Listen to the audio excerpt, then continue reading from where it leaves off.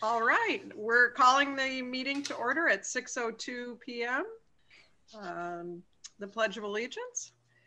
I pledge allegiance Allegiance to the flag of flag the of United the United States of America and to the republic for which it stands, one one nation, under God, God, indivisible, indivisible, with liberty and justice for all.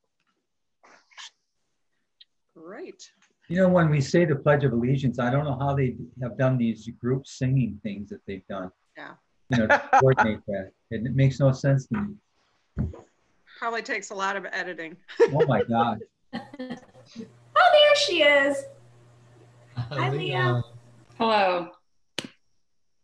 Um, John, do we have any changes or additions to the agenda tonight? Uh, we do not, Lisa. Our agenda is good to go. All right. Does anyone else have any changes or additions? All right. Bethany, it's um, public comment. Um, do you have any waiting?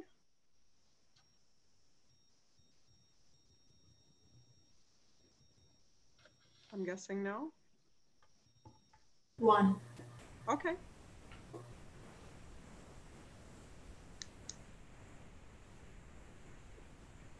It was a public comment, I believe, regarding the presentation from Melissa Okerlund, but those comments have sent, been sent to Mr. Hoover, and I believe he is planning on reading them. Correct. So sorry, I just- now? I the just got a text message from a teacher who said that the board meeting isn't streaming. Is it working? Yes, it's working. If they had have tried right at six, it, they wouldn't have got to it since we started at about 601 or 602. Okay, I'll let her know. Thanks. So Lisa, on the uh, public comment, it's uh, one that'll be shared when we get to one of our staff student spotlight items. All right. Um, I think we're ready to go there. Um, Stephanie? I think we had something from Melissa Okerlund. Yes, I'm sorry. I was texting the teacher to try to log in again. So Oh, okay. um, yeah, thank you. So um, I wanted to just, there are a couple of, of uh, staff spotlights that I wanted to highlight this month. And one of them specifically is around Lisa Oker, uh, Melissa Okerlund, excuse me. Um, so back in the fall, Melissa was approached by a community um, member named um, Linda Dewey, um, who is part of a local group trying to, was trying to preserve the cemetery out in um, um, Glen Arbor Township that was damaged in the storm of 2015. And it had been on the national parks um, agenda, sort of radar to clean it up, but it wasn't high on their priority list. And Linda approached Melissa, who then partnered with her to um, use her students, the eighth grade students, to learn about the people that were buried in the cemetery, um, their historical significance of the lives of the people that were there. Um, and it was um, discovered that four of them were Civil War veterans, which dovetailed very nicely with Lisa's curriculum in her in her history curriculum. And so they formed a partnership, and Melissa took all of this on um, from bringing in members of the Historical Society to the classroom to work with students for, to help them research the lives of the people that were there to agreeing to help clean up the cemetery. Um, and then they were able to work with a local company that cleared all the trees and the brush so that students could then go in and pick up the pieces and um, preserve those graves. And then to um, what was supposed to have been a Memorial Day celebration at the cemetery, recognizing the Civil War veterans that were buried there. Um, and really agreeing to carry on this partnership in successive years so that students would learn about these lives, adopt the graves, do the research on the lives of the people, um, clean it up, and then help to memorialize these people each year. So um, I just, I really thought it was important that we um, recognize Melissa for this work because these community partnerships um, help bring the curriculum that the students learn about in the classroom to life. They help bring relevance to that curriculum, but they take a lot of work, a lot of time, a lot of planning, a lot of meetings. Um, and Melissa basically took all this on and made it come to life for those students. So we're super excited about this project. It was written up in the Glen Arbor Sun. And uh, most recently, Brendan Quealy with the Record Eagle will be following up to do a feature um, on the follow up to the story, which is that um, our own Don Miller actually lives in one of the homes apparently that was inhabited by one of these Civil War veterans. And the kids are going to go out and um, visit these old homesteads now with their parents and learn more about the life of these um, veterans that, that are buried there. So we're super excited for Melissa. And I know that John wants to share some thoughts around um, this partnership as well. Yeah, great. Thanks, Steph. That was so well said. And uh, really, this is what Linda has sent uh, my way. So I'll read that on her behalf. Steph, I'm so grateful you mentioned Don Miller, though. Uh, the, the veteran is uh, Edmund Trumbull. So we sure all know about Trumbull Road and, uh, and the fact that Don, uh, so they, they took a tour virtually through Zoom of the house, the kids, and Linda, Melissa, and Don, of course, was the perfect guide to be able to talk about uh, some of the history of that house. This is from Linda. And, and obviously, although Linda is, and, and wonderfully so, recognizing and honoring Melissa, uh, Linda, we sure want to recognize and honor you. Uh, you put uh, a lot into this to get the impetus going. And then, yes, uh, Melissa uh, and the kids took it from there. But we're so grateful to you, Linda. All right, when I first approached Mrs. Okerlund at the suggestion of the principal two years ago, she was immediately enthusiastic, especially because of the four Civil War veterans buried there. When I presented her with a plan last year, she embraced it and shared it with her colleagues. When, finally, the National Park and partial tree care experts decided to prioritize this project this fall with uh, partial tree care donating their work, I again went to Mrs. Okerlund. She agreed. Now was the time. We took the plan to Mrs. Long, who approved it wholeheartedly. The students were enthusiastic as well. When I presented them with the problem and the opportunity, the cemetery was buried under fallen trees that would soon be cleared, but the records had been lost. The only map we had was hand drawn from Glen Lake Middle School students, led by Mary Sutherland in 1977. And that was of standing gravestones. Many more were buried there with wooden markers that had long since decayed. So we were coming back to Glen Lake Middle School again. Could they help us research and find the stories for who was buried there? Weather cancellations and COVID 19 notwithstanding, the work the students have performed is extraordinary, especially given the fact that it was no longer required work. More, after March 13th, I was no longer able to assist. Mrs. Okerlund surprised me as she continued with the project, even in the midst of the difficulties presented in adapting school to distance learning. Mrs. Okerlund has put in an excess of 100 hours of her own time on this project. Astounding.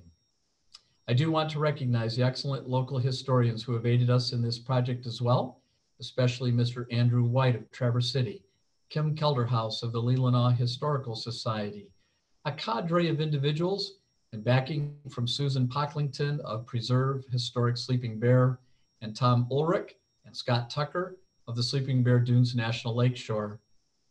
And we're not done. By happenstance, we get our field trip tomorrow evening for a few students, at least after all. Mrs. Okerlund, of course, will be there. Thank you to the school administration and board for supporting this project to Mrs. Okerlund, who was highly professional and always held student safety, standards, and objectives first and foremost in consideration, and to the students themselves for their outstanding work. I am so happy to see the board recognizing this unusual and outstanding effort. Thank you all. Linda Dewey.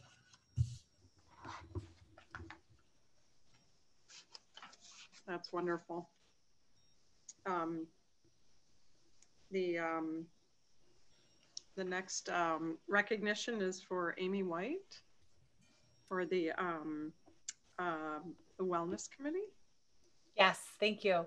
So, um, as many of you are aware, the um, Amy White has spearheaded this wellness committee for Glen Lake, and this year specifically worked really tirelessly with the state of Michigan and with the ISD to ensure that our sexual um, sex ed curriculum was um, aligned and um, working to ensure that the wellness committee had a vision and had a mission and some specific goals. She um, went through the process of making certain that we had the chairperson, the board approved this process.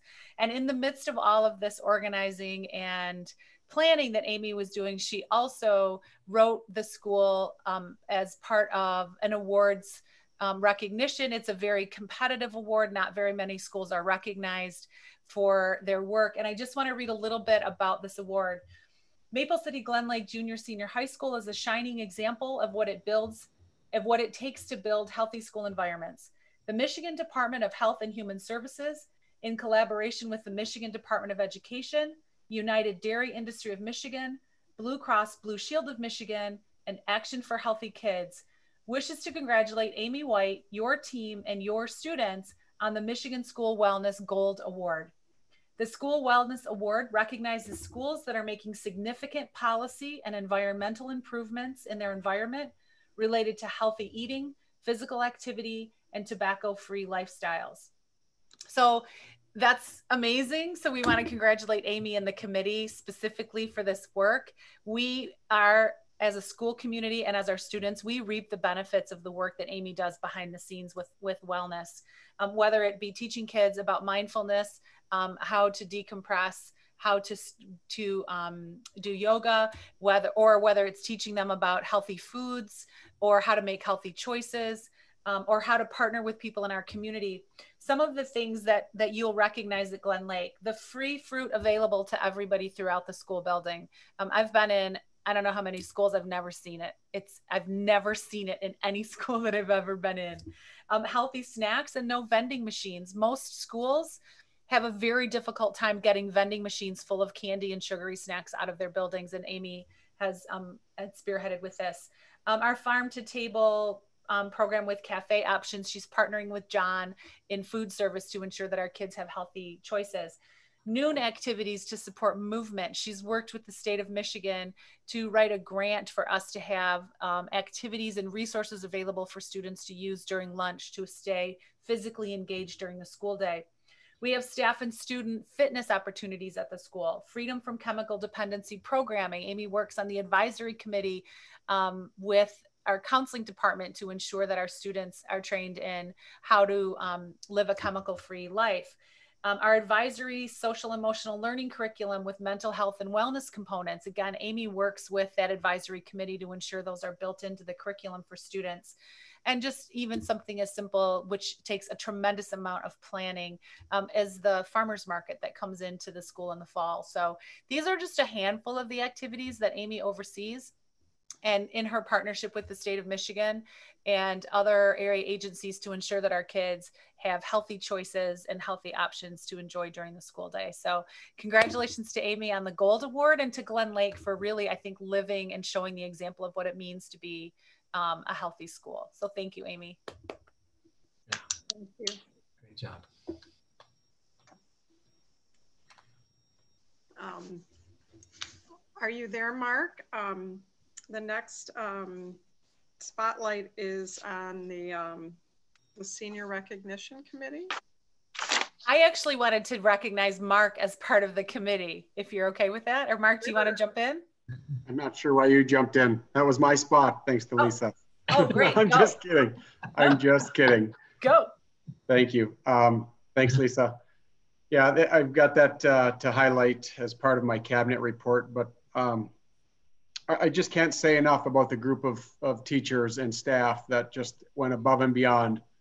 Um, as challenging as it's been for our, for our teachers to uh, do their online teaching with our students and trying to keep them engaged. Uh, they just their efforts were tireless in the number of efforts that uh, that they put together by and large, and so much of it was just brainstorming and uh, Zoom meetings and email idea throwing, and then more dialogue would occur, and then something was born.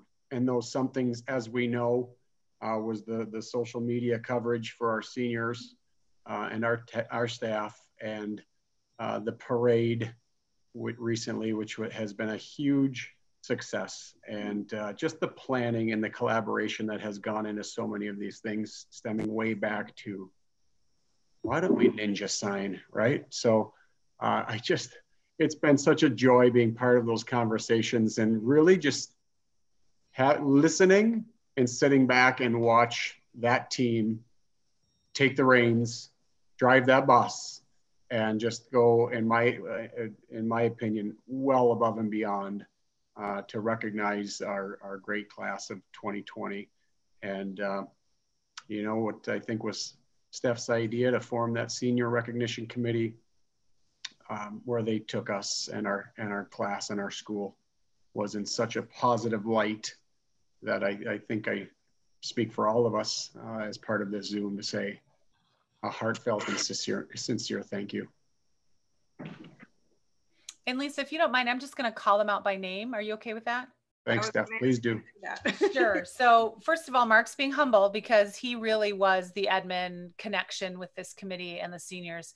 Um, so, it's Kathy Kangas, Jill Walker, Emily Alt, Jerry Angers, Amy White, Dana Schlosser, and then Mark and Jen Fosmore in the secretary um, from from the secondary office. And um, you know, Mark mentioned it, but there were some really beautiful little personal touches. They coordinated um, note cards so that every student, every senior received um, at least one, if not more than one, personal handwritten note by a staff member in their senior bags. They coordinated a t-shirt and on the back of it is every senior listed um, that went home in those bags. Mark coordinated the tote bags that have the glen lake logo and only the seniors got one that said 2020 on them. So there were just teeny small little personal touches but i think it made it really personal for our kids and, and it was a way i think for our staff to bond with these seniors in a way that we weren't really certain we were going to be able to do um, even a couple of weeks ago. So thank you, Mark, and um, for coordinating with Jen, and thank you to this entire committee for making that all happen. It was it was really special, I think, for our kids. Thank you. Um, I don't know if Spencer is here for the student council report. I don't see him, but I don't know if someone else has that maybe. Uh, Mark would have that, uh, Lisa. All right. Yes, uh, Spencer was scheduled to be here and I have not heard from him. So I'm hoping that everything is okay and assuming that something came up for him. Um, you know, this was, I wanted him to be here um, and he had a few bullet points to speak on. Uh, and I'll, I, maybe I'll give it just a minute to see if uh, lower at 620 to see if he uh, jumps aboard. But uh, part of that was having him here was going to be to honor him for his work this year as our student body president and the as we know how many additional hours each week go into um, leading and um, organizing and executing our meetings and our activities. And I just wanted to highlight him tonight, which would, uh, because this would technically be his last meeting and his last student council report due to graduation. So he's sort of, uh, you know, off the clock, if you will, after tonight's board meeting and then uh, graduation. And so I really wanted him to be here to publicly say thank you to him for the work that he's done. And he has uh, served us very, very well. And uh, we certainly welcome Millie Fogelsong, uh, who will be our student body president next year, uh, to the role. And she knows that Spencer has helped pave a, a fantastic trail of really the student body having ownership in our school uh, and the many activities and such that go into it as well they should. And so we as staff and admin are here to facilitate what they want in their awesome school. And Spencer has uh, done a fantastic job of, of leading the way and, and modeling that leadership to others in our building. And so I, I really wanted to say thanks to him tonight.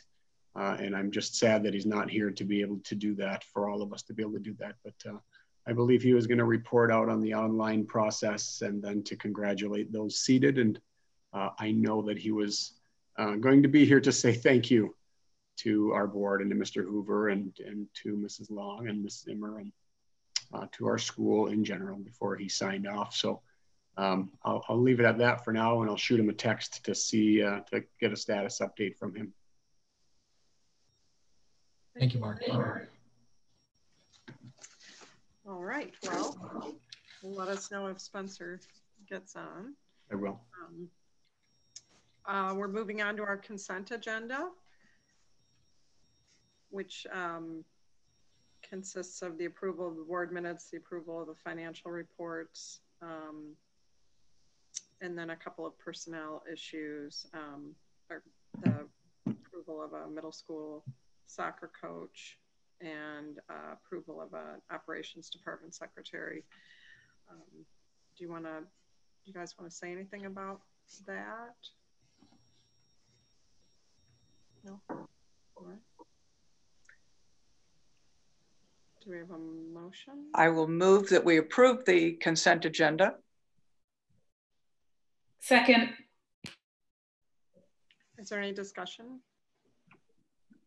Just want to say I've had uh, quite a bit of experience with future coach Mr. Switzer, and it's a it's a great hire, Mark. I'm really excited to see him uh, carry on with the group of kids that are coming up that he's been with for a couple of years. So I'm really excited to see that hire. It's great.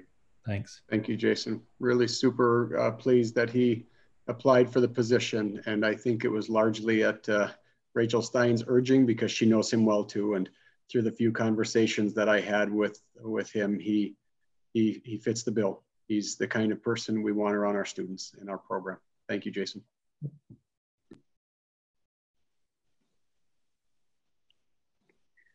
All right. Anyone else? Bethany, how about a roll call vote?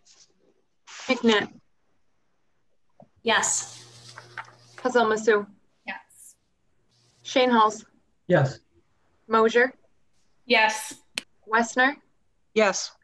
Homa, Yes. Siddall. Yes. Motion carries. Um, Moving on to our discussion items, um, we have some cabinet reports. Um, John, do you, um, it- are we? Um, Yeah. Gonna go through those one at a time or? Right, well, just, uh, they, they know the order that they're going to be in, Lisa, and, and board, this will be uh, similar to what we uh, shared with you as an administrative cabinet back in January. And so this uh, report period is to cover from uh, middle of January till this point in the year. And then board uh, will triangulate this process in September. Cabinet reports will come to you at the regular meeting in September as members of the cabinet report to you the work that uh, occurred during the summer and as we prepared and, and moved into the start of the new school year. So with that, uh, board, unless you have any questions for us, Tarina, you are up first, please. All right, I'm ready. Does the board have a copy of my principal's report or should I share my screen? Share your screen, please. All right, thank you.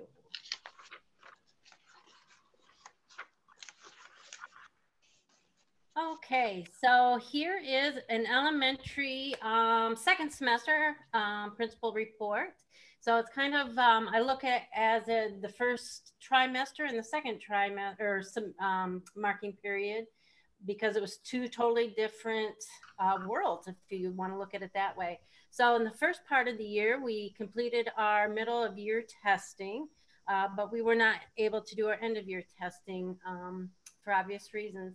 One of the things, though, that came up with middle of the year testing and the data days that we still are looking at, even this late in the game, um, to give you an example of um, why we do our data days and um, why they are so full of information and how we can use that information is just the other day we were talking about a student who um, we were thinking about taking to core our core team who looks at students who are struggling in their classrooms and different people on the team will offer ideas for interventions. And when looked at the students data for um, from the beginning of the year to the middle of the year reading um, what we saw was this student still performing at a lower level than their classmates but whatever that teacher was doing was having great success because this student now was showing high growth which means if that student can stay now on that trajectory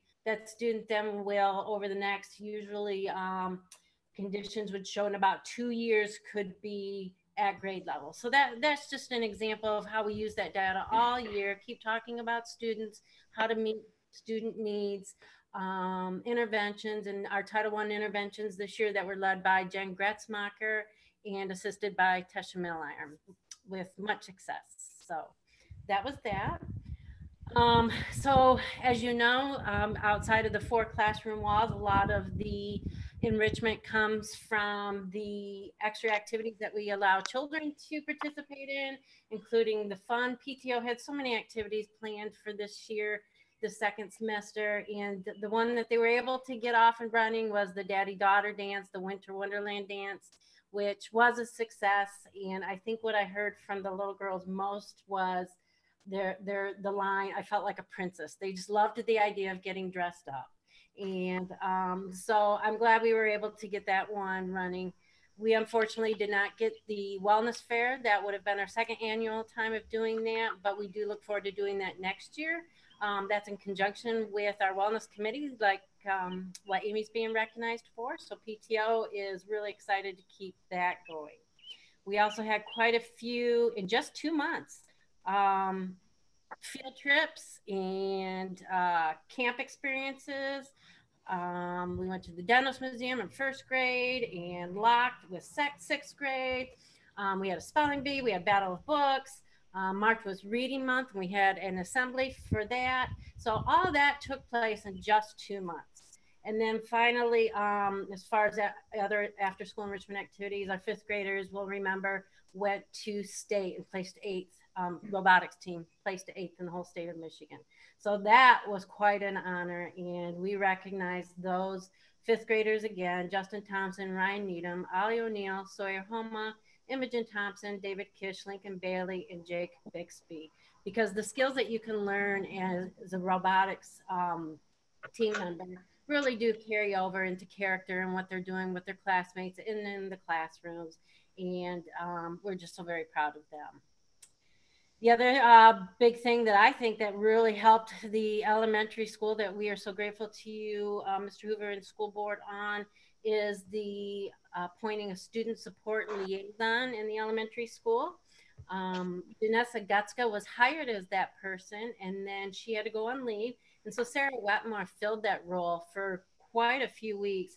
And she did such a fantastic job that when Janessa came back, um, we were fortunate to have both helping us out in that role because of the relationships that Sarah already built. Then we were able to add Janessa in to build even more relationships.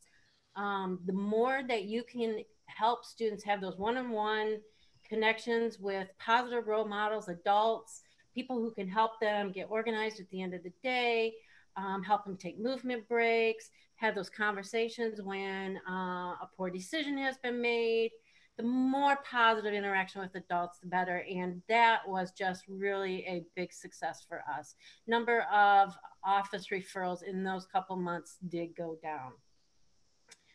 Um, we had started our gifted and talented committee, and then that was put on hold when um, we were not able to meet in person. But we do have adults identified. We have uh, parents. Um, we also have staff members who want to be involved. And Leela Levanter is still interested in heading up that committee. And so those conversations are still happening. We want to be able to visit schools when schools open again to get models. But I think there's also going to be some research done still in the meantime um, for something that fits best for Glen Lake. So that was another big move this past semester.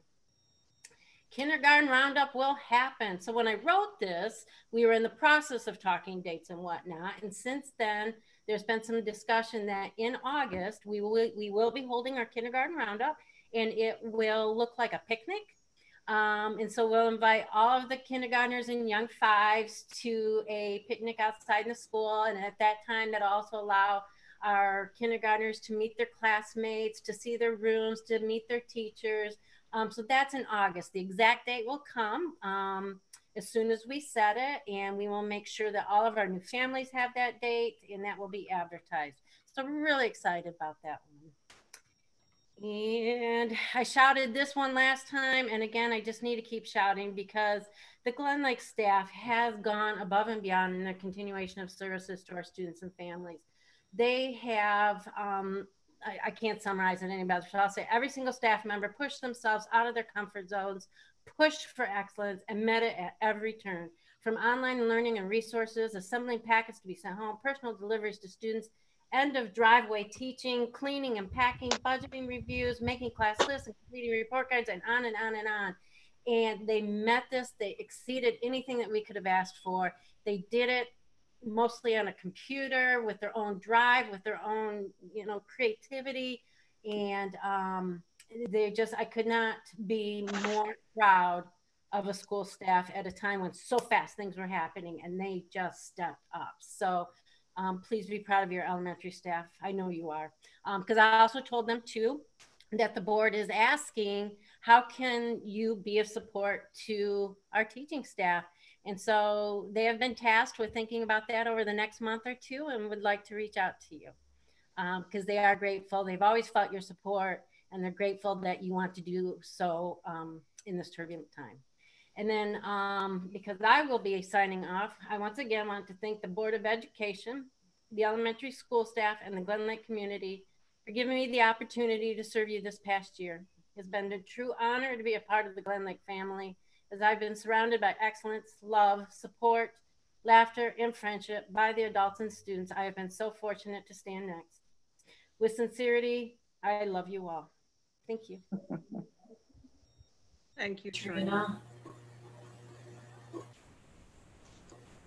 Any questions before I mute? No. Good luck, Trina. Thank you. Thank you so much. Best of luck. Love you guys. Uh, Stephanie, I think you're up next. If you're Oh, ready. thank you. Like it. So hopefully you can see my screen. Mhm. Yes. Okay. Impressive. Well, um, I like wanted to just summarize, um, try to condense and put it in a form that you can then look back and quickly see what some of the milestones were for secondary um, from January, really end of January until now. So, um, starting with the formation of the leadership team all the way over to the left, um, that team got started in January and we've been continuing to meet. Um, they've been identifying priorities. We um, had a report out today from Matt Pichelle at our staff meeting. He sent a summary update of the leadership team moving forward, um, hoping to partner with Dina as soon as she gets on board to continue that work. Um, the work of the sixth grade into the middle school, we got your approval in February, and since then we have welcomed three fifth grade teachers into the middle school. Um, room assignments are done, and um, they have um, contributed their budgets with regard to what curriculum materials they'll need to um, move forward with sixth grade. Um, the counselors, I, I can't say enough about Bethany and Matt. We worked so hard and they did so much work to ensure that we had a really high quality schedule ready to go for the fall. We had the addition of five advanced placement classes. We've added woodshop. We have three sections of that. We have a graphic design section. We have robotics in the middle school now. Um, and I'm sure I'm forgetting other additions, but it's been an incredible process. And they went over and above to make certain that our schedule um, is going to be um, it's just it just provide it's going to provide for some great opportunities for our kids to be able to stay on campus um, and that's in addition to being able to offer dual enrollment now in an online way which will save the district a considerable amount of money for students who um, need to be able to stay in the building and not lose two hours of their day um, heading over to nmc number one it'll be safer. Number two it'll be more cost effective and three we don't lose anything because those credits are part of the michigan transfer agreement. So that will be extremely helpful. Um, with our instrumental music program, um, we have, have we have Eli George on staff already. He's been busy um, coordinating with our sixth grade families to um, introduce our sixth grade kids. Part of that schedule that the counselors were able to work out will include a separate band class just for sixth graders, um, and where he will be able to teach all different kinds of instruments. And he's working on band camps with them over the summer as well. Um, you heard a little bit about school wellness already with Amy White, but it also includes we did we were able to launch the Habitudes curriculum into the um, advisory program before we had to break in March, and so that that curriculum will continue in advisory next year. Um, in travel, you were able to approve the travel experiences for the actually K 12, but specifically for us 6th through 11th grade travel experiences, in addition to a 12th grade international trip. and any other ELA trip. Thankfully, they were able to take that this year before we broke. So that was at least something for some of the seniors. Our advanced placement coursework, um, in addition to those dual enrollment options, is super exciting. Our entire AP staff had been signed up to do some training this summer, specifically either around the new tests or new curriculum, but um, that training has been postponed in Grand Rapids, and so they are looking for other opportunities. Um, Melissa Okerlund will be starting the AP Psychology class here, which is really exciting. Emily Alt will be reviving Advanced Placement Literature. Um, Chris Herman will be teaching both AP Government and um, AP History. Um, we are offering AP Bio and AP Chem in addition to AP um, environmental science. So we just really were able to explode those offerings and their the classes look hearty and Hale. Oh, and I mentioned I should have mentioned also AP statistics. So we're super excited about all of that. And then with our interventions, one of the other things we were able to do in the schedule is we were able to offer some level two interventions for struggling students who may or may not have an IEP or a 504 plan, but just for anybody who needs some support. So there'll be two sections at the middle school, one in the morning and one in the afternoon, and two sections at the high school, one in the morning and one in the afternoon. So ideally, regardless of what a day looks like for a student in their schedule, if they need some support, they'll have that hour that we can schedule them into um, with one of our academic teachers, and they were designed so that there will be a math science and an English social studies teacher. Um, so we can put them in the section that best meets the needs that they have. So we're super excited about that. Um, in addition, Nate Sneed was approved for the as that SSI person, and he jumped right in wholeheartedly. Um, and so he's been tracking students who've been struggling throughout this COVID crisis. He's been also doing some Otis training to learn about that tracking system. Um, so there's some really exciting things going on there, and we were able to reduce some testing for eighth graders because they're already doing um, um, so much. So so we feel really really good about the where secondary is right now with these systems and structures in place that should allow them next year to even um, go to the next level. And in the next slide, I'll talk just a little bit. Let's see if I can get it to go. There we go. Um, so how what would this look like for next year then? So we've got these processes in place. Um, around um, we're still working on finalizing that handbook as the more we dug into it the more we realized um, it needed some more work so the code of conduct was really just sort of step one and so that handbook will be fleshed out over the summer and completed um, we, we put some processes in place around purchasing, around decision making. We put a process in place around students applying for transportation, driving their own cars to and from campus, just sort of tightening it up a little bit so it um, provided a little bit of accountability for kids to be safe on campus and some room for administration to have conversations with families when maybe driving had gone astray. Um, we because of this crisis, I will say actually streamlined the use of Google Classroom, and it, has um, been a pretty efficient way for the secondary to communicate with their students. So I'm sure that that will continue to be developed as well. Um, we have um, staff really sort of digging in and taking some ownership of the direction that they want that secondary school to go in. So we've got that leadership team. Um, one of the goals that the staff can be talking about is how to best align their PLC work next year around some um, some school-wide um, improvement goals. We have those student supports in place now. Um, I will work with Dina as soon as she's um, ready. To, I know she's got a lot of transitioning to do. I feel her pain on my other end, um, but she and I will talk for sure, and I'll I'll fill her in on a lot of this stuff so that she's not number one starting from square one, but also so that staff can just continue to move forward. And then um, those leadership team plans will be really helpful. The leadership team has fleshed out challenges and opportunities moving forward with the plan for next year in several different categories. And they've documented the brainstorming that the staff have done, as well as resources available to help with that planning. So for next year, then our next steps in the process would be to um, define those instructional goals and align that to a clearly defined um, secondary vision or core values, whatever they want to determine those to be um, and then develop a schedule to use student data to inform their building level instructional goals, align their PLC work um, with systems in place to monitor and review. I think one of the things that we learned through COVID is that um, it's been difficult um, for administration to monitor to monitor instruction, but it's also been difficult for staff to monitor um, students in this in this remote world. So coming up with those plans to tighten those gaps will be important. And then aligning professional learning to the vision and the goals to provide for individualized staff learning needs. We know we're going to have a lot of needs over the summer. Um, I talked about that a little bit before. So those are really sort of the next steps or the challenges I think um, over the summer and then heading into the fall. Okay, I just did that really, really fast. Any questions? That was a great presentation, Stephanie. Thanks. Well done. Thank you. And good luck to you, Stephanie, also. Thank you. Thanks. A lot on your plate.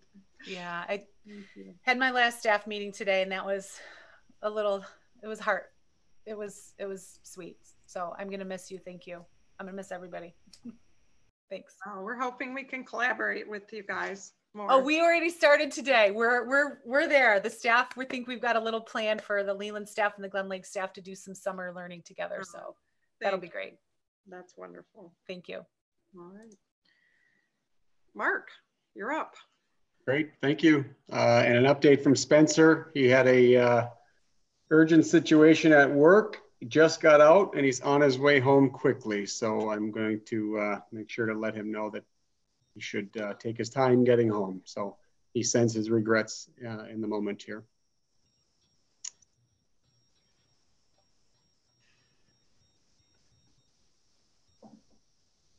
So going, starting with uh, January and working toward the present, some highlights and points of pride in uh, some of the areas that uh, I'm responsible for overseeing, beginning with visual and performing arts.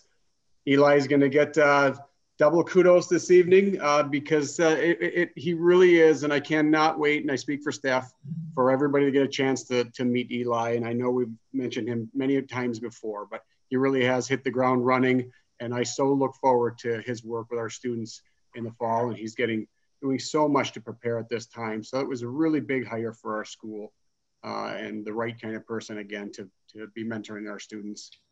In-house screen printing coming to Glen Lake. Um, we had a slight uh, glitch with our vendor, minor, but worked out, and uh, that equipment is on order and should be here in plenty of time. And I know Jill Walker is super excited, as uh, are some of our students to get started and get ready to uh, to create our own Laker apparel in-house. So we're really uh, fired up about that addition. Moving on to athletics. Back in February, we were fortunate to send eight girls uh, to Women in Sports Leadership.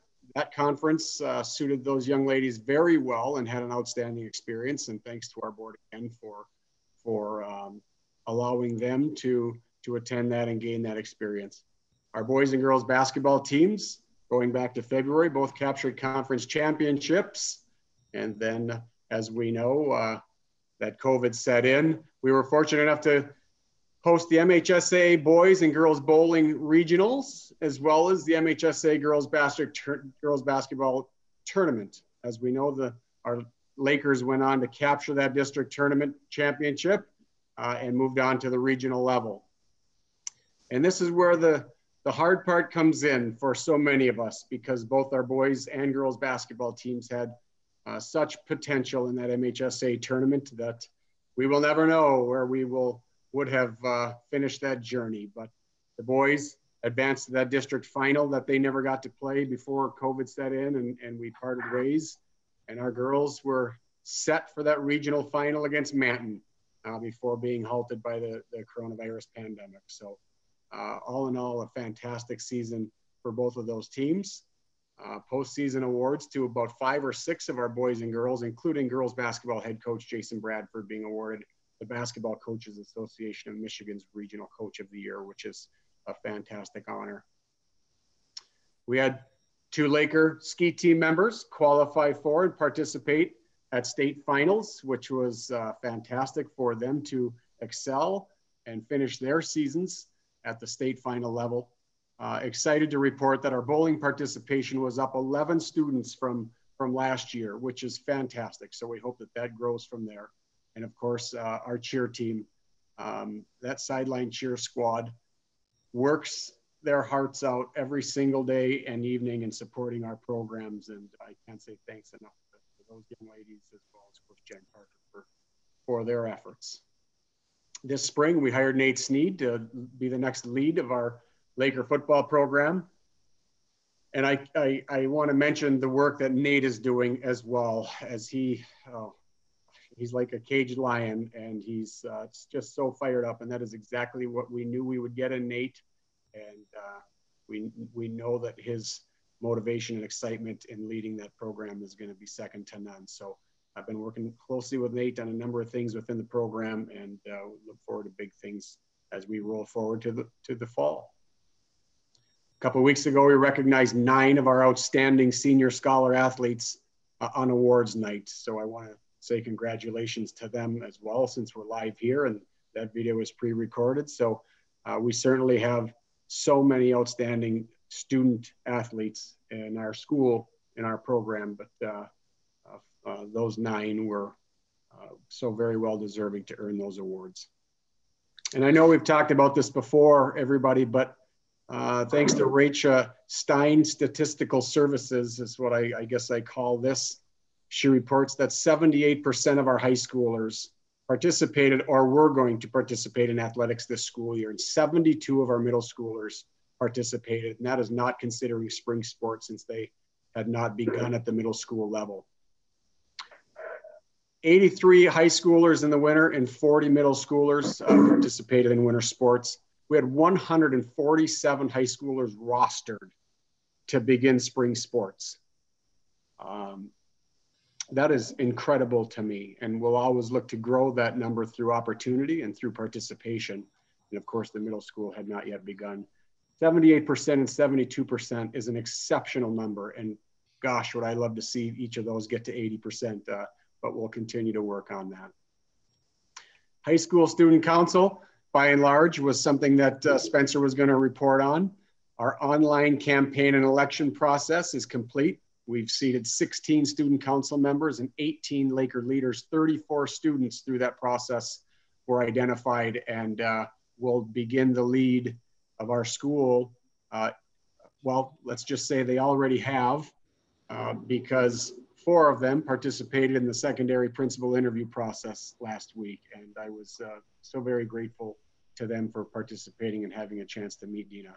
Our class advisors are set. So from a student council standpoint, we are ready to rock and roll for 2021 and make it an even better school year yet. And then finally, um, coaches, teachers, teachers, students, parents, community, um, as interview team, team members in coming up with some of these selections that we've been fortunate to add to our staff. I cannot say thank you enough, and uh, as well as the importance uh, of their role in helping to select um, who the fortunate candidates are that get to lake, work with our Lakers.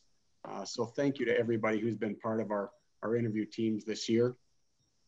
And of course, we covered our senior recognition committee's tireless efforts to honor our class of 2020. Um, so looking forward to a great summer. We've already uh, had a couple of coaching uh, coach uh, coaching staff Zoom meetings, and we'll have another one tomorrow as we look to um, start creating our summer activity schedule since we're opening it up quite a bit, but we need to have uh, their say and their planning and be on the same page in terms of protocol and getting that process underway. We can begin as soon as Friday, uh, but we'll make sure that we've got our, our, our T's crossed and our I's dotted so that we uh, are working in unison with a schedule and proper pre-screening protocol and starting our student athletes out uh, with some basic retraining, if you will, and reconditioning. Uh, so we'll meet tomorrow, and I've asked them to stay connected to our student athletes uh, throughout this at-home process, and uh, and I, I believe that many of them have been doing just that. So besides the short-term plan for working our way through the uh, resuming of summer activities and taking a look at where we're going to be in terms of fall sports, which I'm very optimistic about. Uh, and we have a MHSA Rep Council meeting next Monday, a week from tonight, to discuss more on what summer and fall will look like. So I'm crossing my fingers, remaining optimistic, and I think we all should be optimistic uh, that fall sports will start on time, but more on that later. So something we've been working on for, for probably a year or more, and we are almost at the finalization stage. We're still in the, uh, uh, site build stage. And uh, the one challenge is going to be, and, and, the main focal effort is going to be to streamline our department-wide communication. uh, both in-house and from coaches to families, coaches to student athletes. We use so many different platforms. We're moving to one and it's called Final Forms and information will go out as soon as our sites are, are finished and we've reviewed the information that we've got. From pre-participation compliance, health and safety of our student athletes, utilizing one common software platform between our office, coaches, our student athletes, and parents.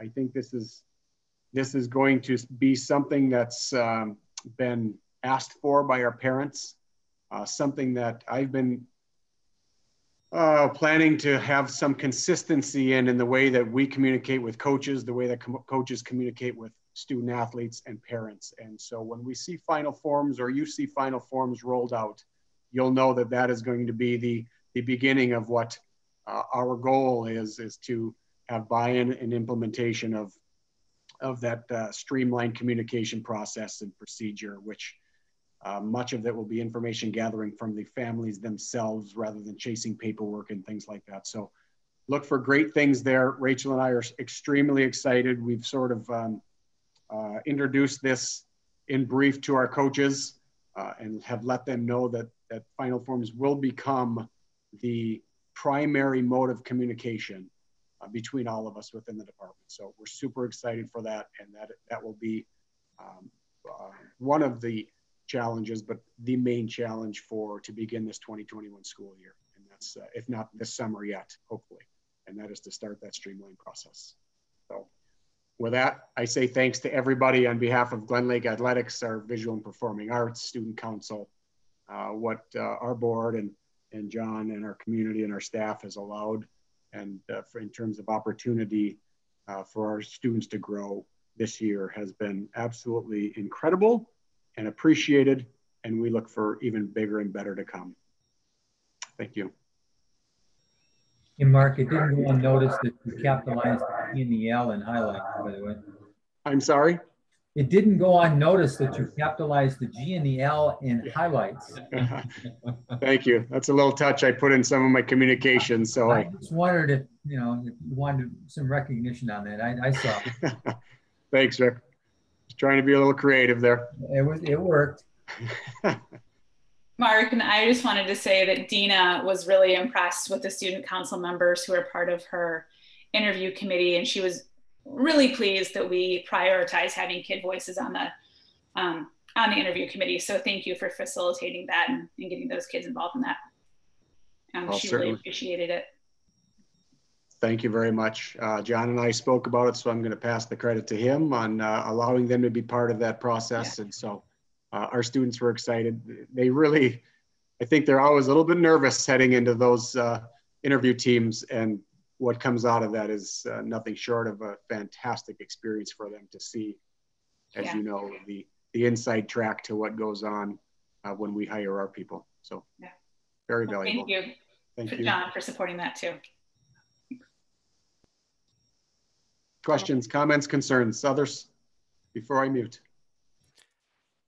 And Spencer is just joining as well.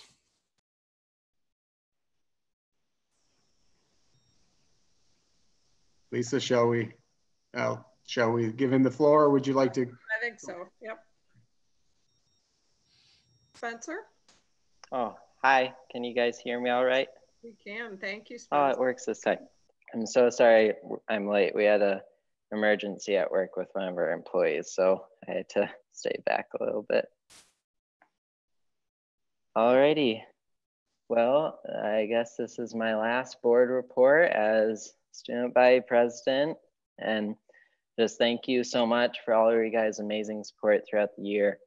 It's been amazing to work along with Mr. Hoover, Mr. Matson, the board, just to do what we could to help improve and make Glen Lake the amazing place it is. And I enjoyed being in that position and just thank you so much for all your support and just being there along the way for us. so starting off with my report, the online campaign process began on May 12th and it concluded May 29th. And we did it in virtual class meetings with speeches, and then we had the election, of course. And now you can see me.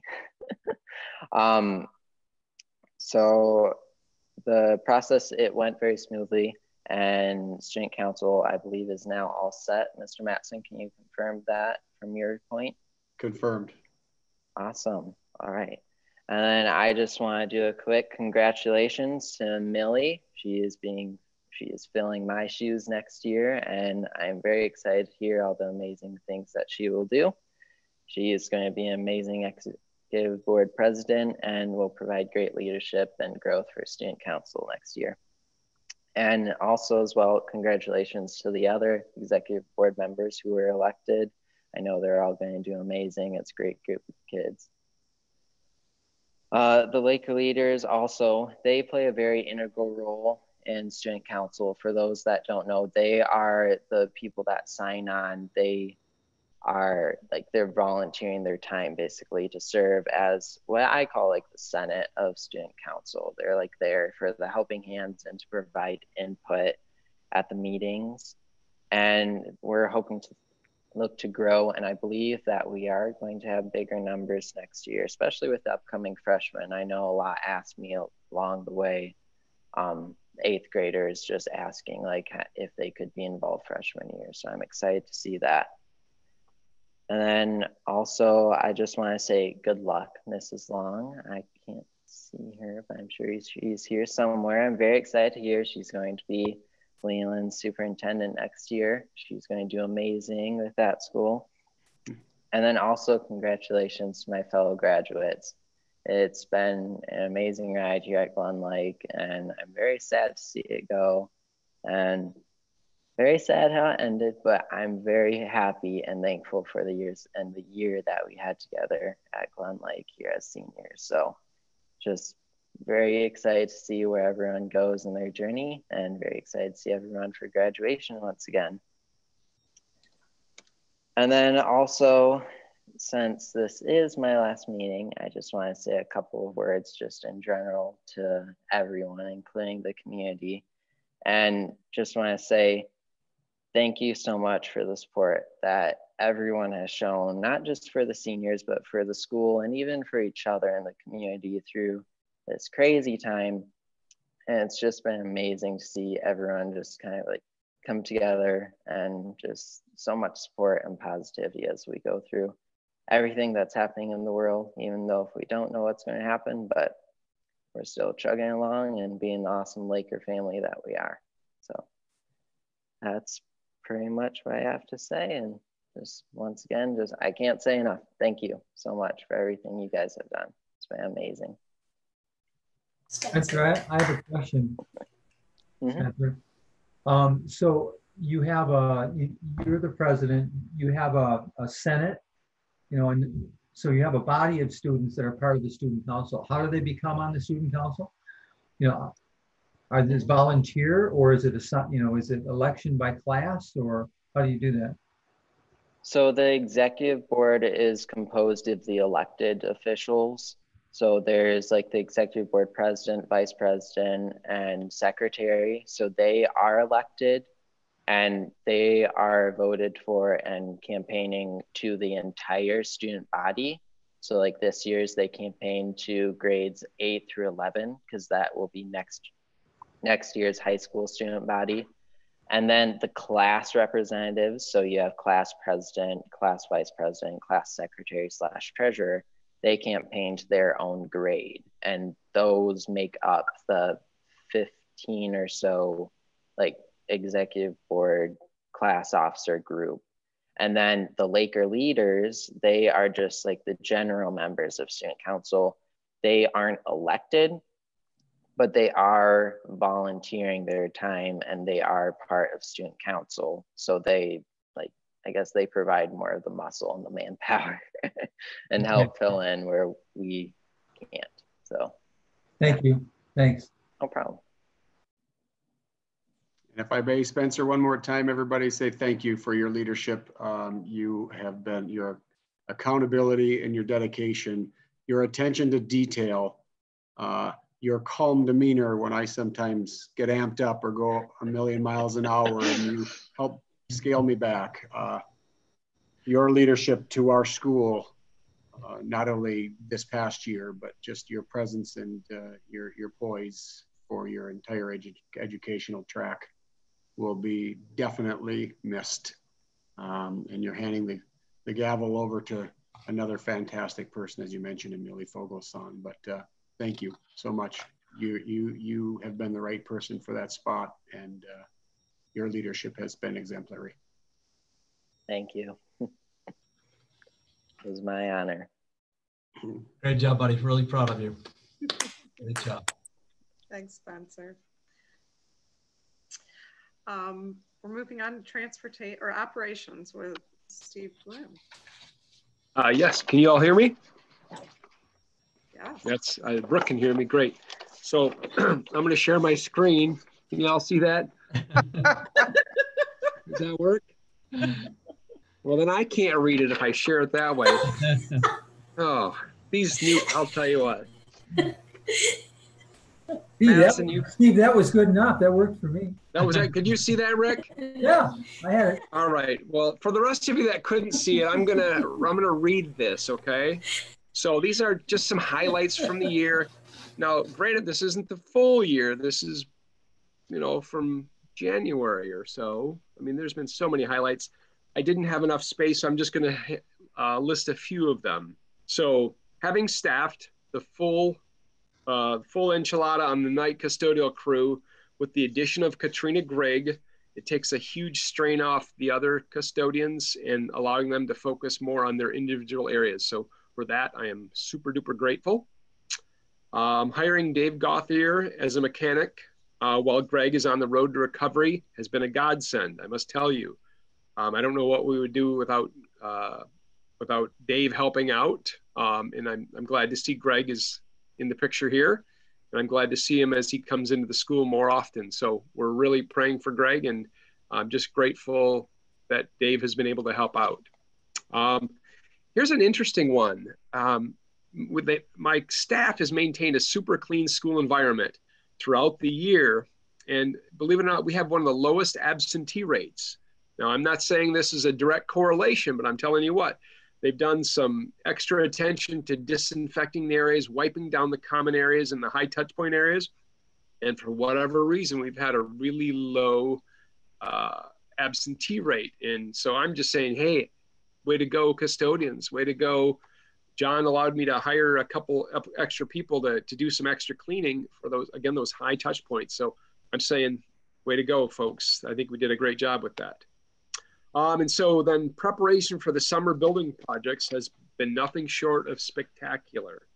With John's expert direction and a very engaged and involved board, you all, we were able to award contracts to some highly qualified people, the architects, uh, the site engineers, the construction manager, as well as the extensive list of the needed uh, tradespeople that are involved in this whole project, the summer 2020 projects. You know, we're off to a great start. And at this time, the bus garage, the footprint has been cleared. It's ready for the site work. The tennis complex and the team rooms are set as well. Mullen Excavating is planning to be here first thing Monday morning uh, with large equipment um, and start this much needed and anticipated work. So I'm very excited. I know you all are. And, you know, I, I thank you all. You know, from, from day one, this has been a, in my opinion, a very a very smooth transition. You all were very supportive and, and listened and asked the right questions. And with that, um, we're gonna get we're gonna get it right the first time. We're not doing this again. We're doing more projects, but not this again. Um, and so, and then despite what, all that we have accomplished, we have a lot of work to do with future projects. Uh, we're going to beautify the main entrance. We're going to beautify the old bus garage and the courtyard area within the school.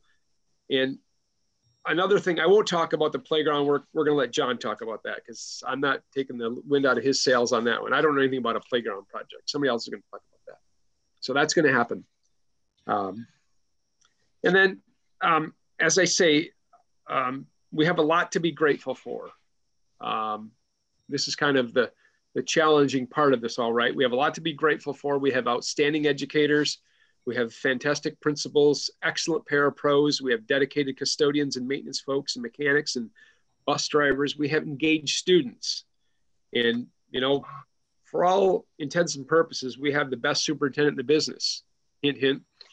Uh, no, all, all kidding aside, John Hoover has been so easy, to, not easy to work with, but it's been a, it's been very satisfying working with John in this capacity. Um, he's a straight shooter. I, I know what he's thinking, and he tells me whether he likes it or he doesn't. So I don't have to beat around the bush. I appreciate that with with a with a superintendent. So thank you for that. Um, there'll be challenges in the months to come. We don't know what September is going to look like. Um, as we move forward, we must continually plan for the unknown and be flexible in our decisions and actions. Uh, again, it's a mystery. I don't know what September is going to look like. You know, we, we've got plans in place. And um, if anyone knows what it's going to look like, let me know because I need to know. And I be, feel very fortunate to be a part of this team of professionals. Uh, we will get through this uh, because we are Glen Lake. So there you have some of the, not all, but some of the highlights and some of the, the challenges that we're all going to face as a, as a school, as a board, as a community. And we will get through this. So any questions, any concerns um, on, on any of the, the building projects or anything that we've got going on? Okay. I, I mentioned, Steve, I mentioned to, um, and Mark, I mentioned to John that maybe we should see if maybe the tennis team wants to come. You know, David pulls them together when they start breaking ground, you know, or maybe girls softball, girls soccer, you know, breaking ground for the, the team rooms. If, if they can do Rick, that would be a great idea, I think, um, with direction from others. But if they can come by, and I think we still have, obviously, uh, the numbers won't be a factor because we can get 500 or so there.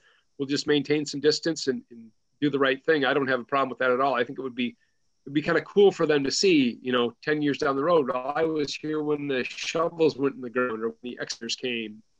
I think that would be a good memory for them all. So yeah, leave it to Mark to maybe contact their coaches and heck yeah, I think that'd be fun. So good idea, Rick. Thank you. Thanks, Steve. Well, you're welcome, Lisa. Thank you. Um, Greg, are you here? I am here. Great. Hey, I just, uh, well, I haven't been there much, but I was there today for the beginning of our state inspections, and we got our first half of our buses ready to go for next year with new green stickers on them. So that's a plus in the right direction. And uh, Dave has done a good job. He missed a couple little things, but the inspector said we can live with this. So we're going to keep on going. And I think he's doing a great job down there. And Steve's been doing a great job. He got the where the new garage is going to be. It looks like a nice big open field, but hopefully there's a building headed in that direction. Um, and I'm looking forward to coming back and being part of it. We're looking forward to you getting back. Glad you're feeling better. Well, it's a it's been a long road, but I hopefully talked to John the other day. I hopefully uh, headed in the right direction now. Great. Thank you, Greg. Yep. Uh, John Fields, are you here? Yes, I am. Hi, John. How you doing? Good. To uh, start off, uh, John suggested that we come and report on several of our successes, successes as well as a challenge. Um, and I'm going to change things up a little and just I want to lay out what my challenge moving forward is first. Um, obviously, the big challenge moving forward for the food service department is going to be providing meals in the fall. And what is that going to look like? Um, with that said, I'm going to say two very strong statements. Is one, uh, I don't have the answers to that yet. Number two, I'm not worried. And the reason I'm not worried is because I can go back to our successes and the teamwork and com- camaraderie that has been built in our school and in my department that gives me confidence to say that we will get this figured out. Um, some of the things that we have accomplished in the course of the year is uh, we started a new service line for the elementary um, completely from scratch. Uh, it wasn't there last year, and this year it was a whole lot of moving things around and shuffling our schedules and uh, just making it work. And we did. Uh, by doing that, it allowed the secondary and elementary uh, to get through the lunch service uh, and cut out 45 minutes from the service day uh, and got them out to the classroom sooner, out to their uh, uh, recess sooner, and just less time standing in line, more time to have to uh, eat their food and to be with their friends. Um, so that was huge.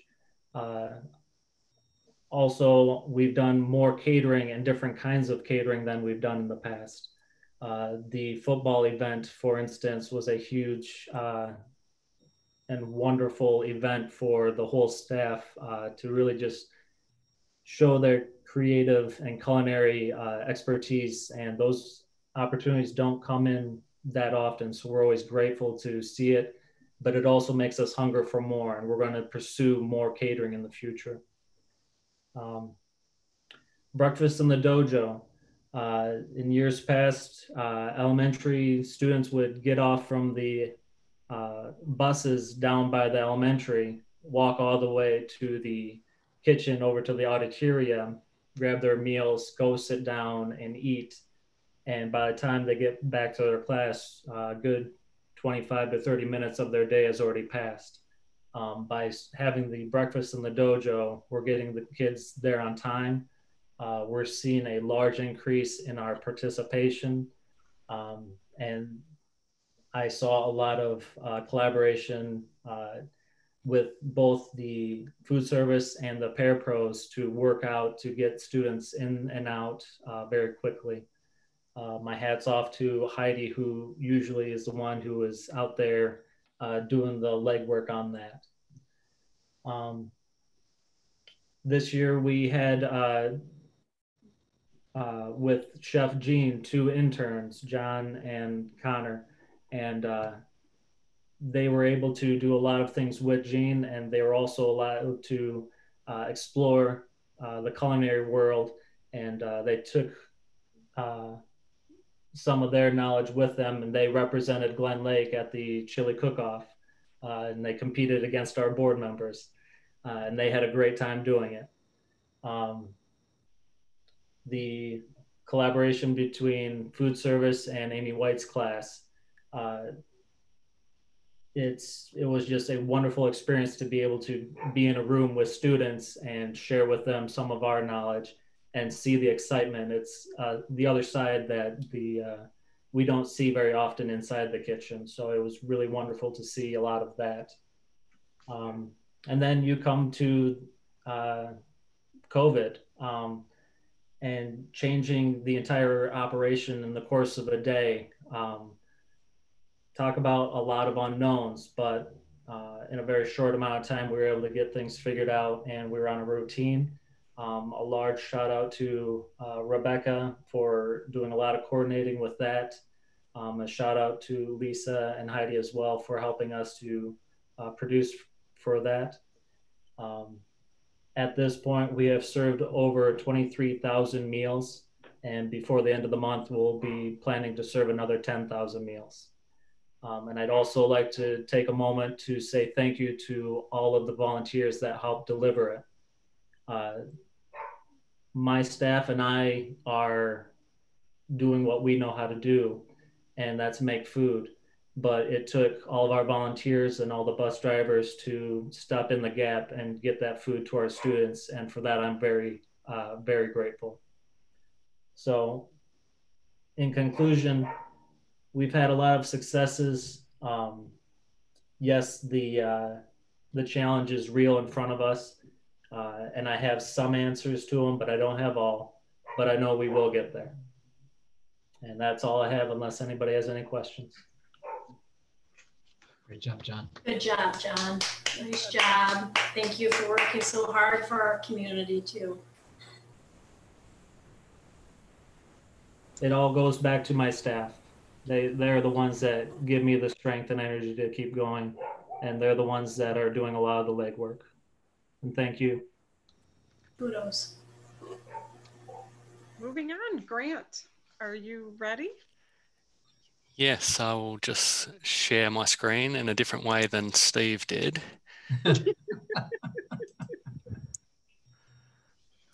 Well, I think, I think Steve Show only had one, one piece of paper though, I think is what happened.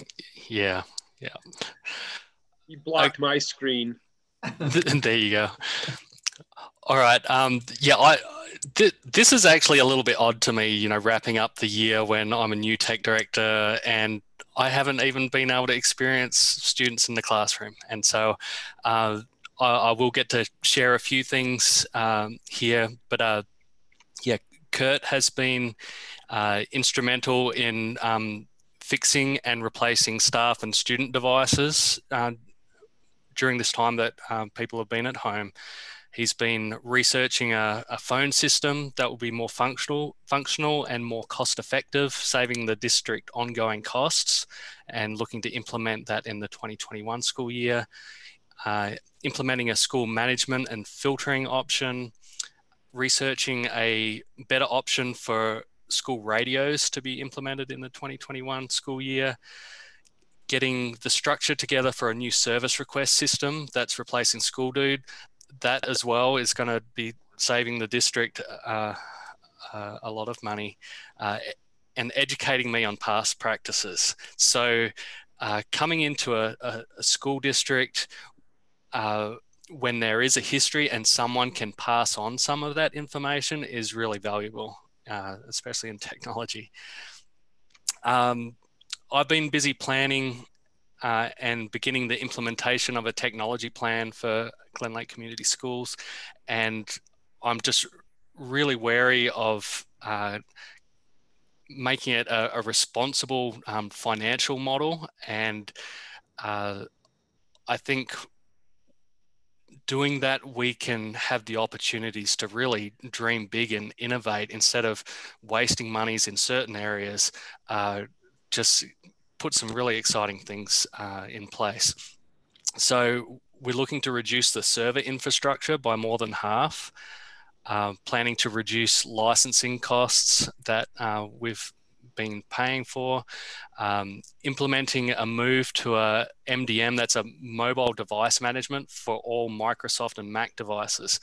This actually will give us a lot better remote support options and uh, if there is any distance learning um, path in the future for us, this will actually be really uh, helpful.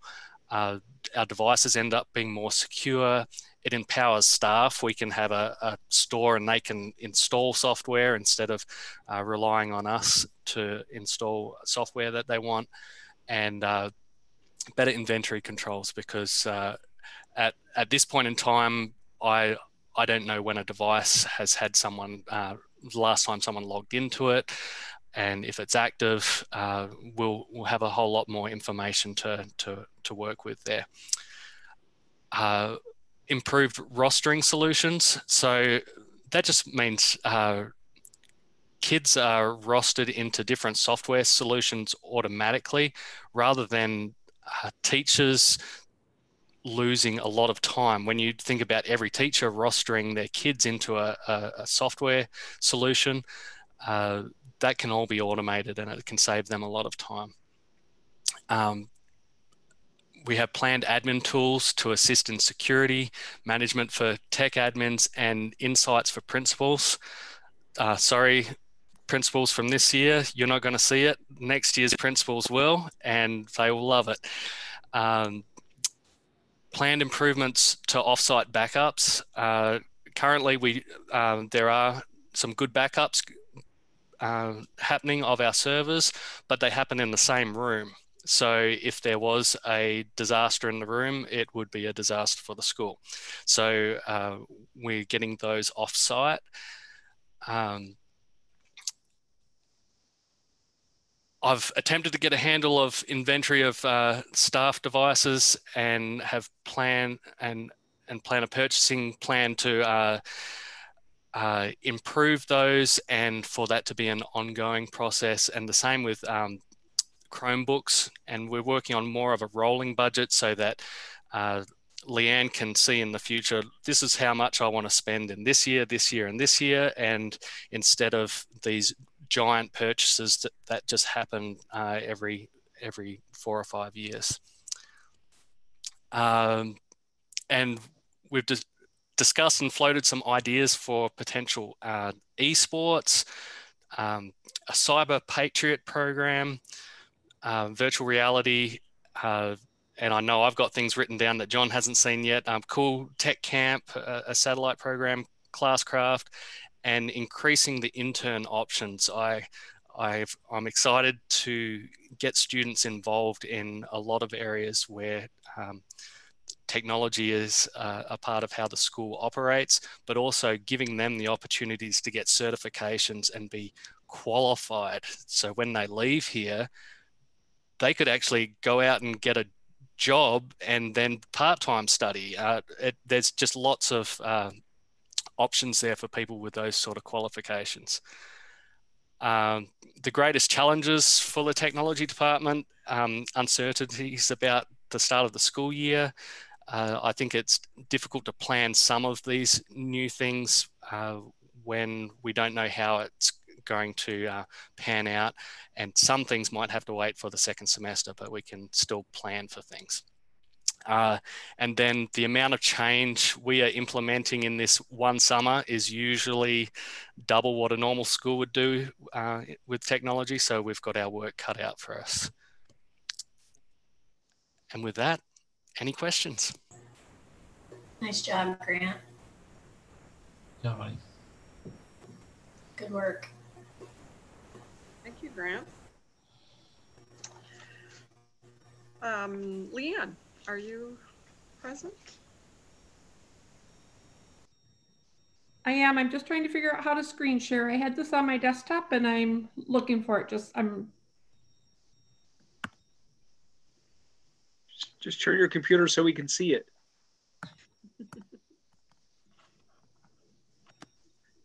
and I practice this too. Mm -hmm.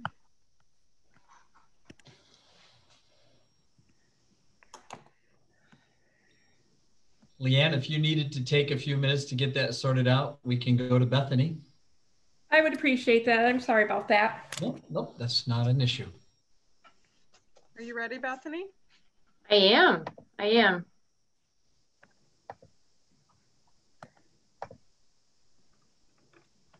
Time to talk about the ESG. It's been an exciting year for us. Um, well, that's six of us. There are eight two ducked out early, so I don't have them on there. My apologies. But we do make it a point to get together socially outside of the school every few months. I do believe that it makes a huge difference. Um, hold on just a second.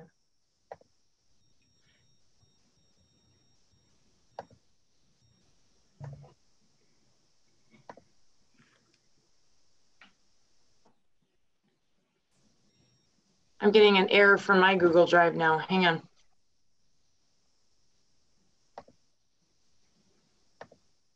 We are able to see your successes and challenges page, Bethany. Okay, I'm just going to leave it right there. I have categorized it into successes, things that we've done since January 1st. Um,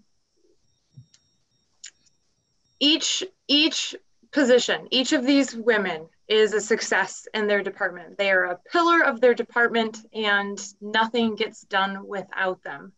Um, these, I believe, these successes are just in addition to the everyday heroes that they are.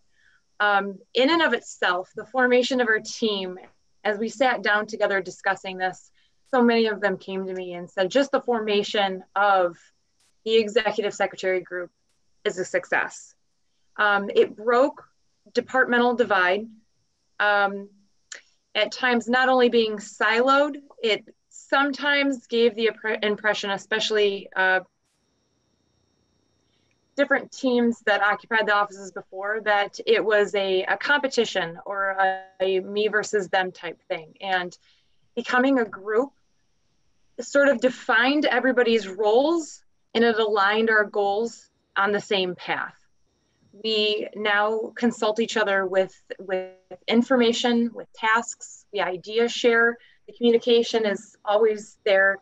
Um, and it's without hesitation. When before I, I heard this from one of our group members that before it would have been she would have been a little bit hesitant to go to the group and now she understands that is a place where we can come together and problem solve as a group. Um, another success that happened uh, that was brought to me again i was receiving feedback from the group was the reclassification of different roles and salaries put in line. That's a huge thing. The appreciation that was showed by John and the board was immense. Um, we, as positions changed within the school or were shifted, we gained responsibilities in reporting to the state of Michigan. Um, the state of Michigan reporting is a web, a web that requires a flow chart and a graphing tree, and it's in it's absolutely crazy. But we had this giant list of items that we needed to take care of, and we divided and conquered quite well. Uh, we also took on schools of choice after the first of the year, which has been fantastic. Patty and Amy are our leads on that, and they have uh, they dive right in and uh, ready to tackle our first open enrollment here starting June 15th. Um, as a group, it also allowed us to communicate and have trainings with Leanne. So all of their purchasing um, questions were answered easily. She would sit down with us, and anytime there was an update or anytime she needed assistance with something, it was really nice in our bi-weekly meetings that we had one place to go to where all of this could be communicated. And they've they've enjoyed having that opportunity. Um, they worked on school dude not the best of products and we were using it for our field trip requests. They didn't like it so we created our own. We created our own system for putting those together uh, nicole and jen fosmore were integral in coming up with that uh, trial and error and getting it exactly the way they wanted. And it helped us do a better job of keeping track of those and making sure all the I's are dotted and T's are crossed when it comes to field trips, because there's a lot of behind the scenes work that goes with that. Uh, we were able to work on coverage, being interchangeable amongst uh, offices someone needs assistance, somebody's out, whatever's happening, one of us is can easily pop in and cover for another office, which is great. Um, and then when the shutdown occurred, teachers hold an amazing amount of adaptability. But I tell you what, that secretarial group was astounding as well. The way they were able to shift gears on the drop of a, a dime and and be able to su- continue supporting the school to the highest level. Kudos to them. It was amazing to watch and it was inspiring to be a part of it. Uh, as far as challenges for the coming 2021 year 2021 school year you, beyond covid-19 i mean i'd really like to talk about something else so i'm going to as soon as we get that handled and we are finished adapting to whatever is necessary to to support the school through whatever next school year looks like we would like to make all registration forms those beginning of the school year packets all the forms that parents need to fill out. We have some of them electronic but it's always been like this in limbo thing and with Grant's help, now with Grant being in there, we'd like to pick that back up as a group and work together to get that streamlined um, and an easy, you know, way to reach out to parents and make sure that those are being completed and, and done in a timely manner. Um, we are going to look at doing a designated transportation line. So if there's ever a time, you know, bus notes, change of pickup, that sort of thing, we're going to have one designated line with the new phone system. Um, that will help ease not only it'll ease the workload within certain offices, but it will also streamline that process and make sure that nothing is missed. Um, and I wouldn't say that having a new principal is a challenge, but it does. There's a there's a you have to get to know your principal, and telepathy is hard. And when you have to learn to read the mind of a new administrator, you know, there's some time that goes into that. But the the building offices are, are adept at doing that. But but it does take time. It takes time to learn, you know, the new rhythm and, and working with a new administrator. Um, not only that, Becca will have to learn to work with Steve Bloom. So I've got three out of eight that are going to be working with new people, and that's that's a challenge and then one thing I would like to continue to provide look for opportunities, just training opportunities, just a bit, just uh, conferences. Um, some of them have voiced wanting more Google training. So I'll be working with Kurt and Grant and finding opportunities to keep them motivated, keep them engaged, and keep them learning. Anything I can answer? Bethany, could you explain the transportation line a little bit more to me? I didn't quite really understand what, you know, what you were discussing there. Yeah, so the building offices in particular have a high call volume of parents needing to change transportation plans. Um, whether going on a different bus or, you know, grandma's now picking the child up, that sort of thing. And so having a designated line where you need to change, if you need to change a transportation plan, you call into that number and one person. Oh, you mean a phone, phone line? Okay, because yep. I'm thinking about you know a, a, you know a map, you know a line on a map, and I'm thinking. Oh, gotcha. No, no, it will be a designated phone line to handle all it. transportation okay. changes. Bethany, can that phone be red, bright red? It's it's right in your office, Steve. Too. bright red. Can it be bright red though? With a with a red light that'll flash. Yes, like the bat phone. Exactly. I, I hope so. Yeah, absolutely. Why not? Yes. That's a great idea, Steve. Thank you. Yeah. I have a lot of them.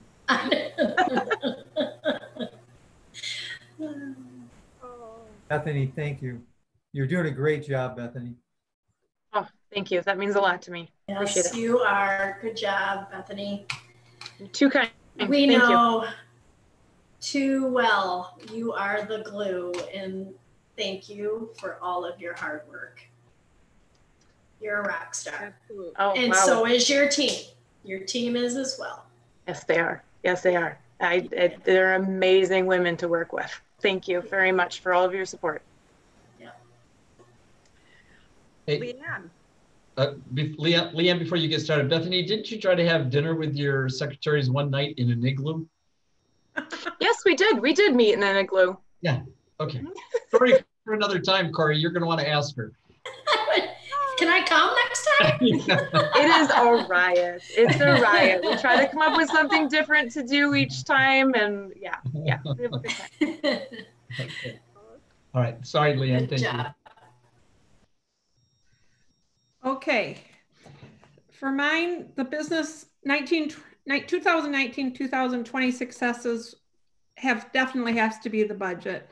What we were able to do from the budget that was adopted last June to what we amended in January and then what you'll adopt on the 22nd is night and day. John and I have met with all of the administrative cabinet multiple times the good news is that they've taken over ownership of the budget. So rather than just regurgitating the budget year to year, there's actual input on it. And the budget process is transparent and is now understood. All very good things. On the payroll, we've had a lot of training in our payroll department on the new software. Sue has become payroll, has the MSBO payroll certification now, which is the Michigan School Business Official. She's had one on one mentoring with the ISD, and it's given her a lot of added tools and confidence that as a new employee or new payroll employee, she needed. And it's really worked out really well. Accounts payable, we were when I came, I noticed when you do the 1099s at the end of the year, none of our vendors or very few of our vendors had W-9s on file, which made the process really difficult. Thanks to Mary Shimmick and a lot of the parapros, we sent out over 900 letters to vendors and got the W-9s. And they, we then entered them all, which made the 1099 process at the end of the year go, was seamless, which I really appreciated their help on that for 2021, my opportunities, I want to look into an online payment system this year, whether it's pay schools, which is what I used in Traverse City and Suttons Bay, or even piggyback off of what the food service department is using now that send money to schools. I'd like to get some of the checks and that kind of stuff out of the hands of the secretaries. One, because of COVID and not handling money and transactions.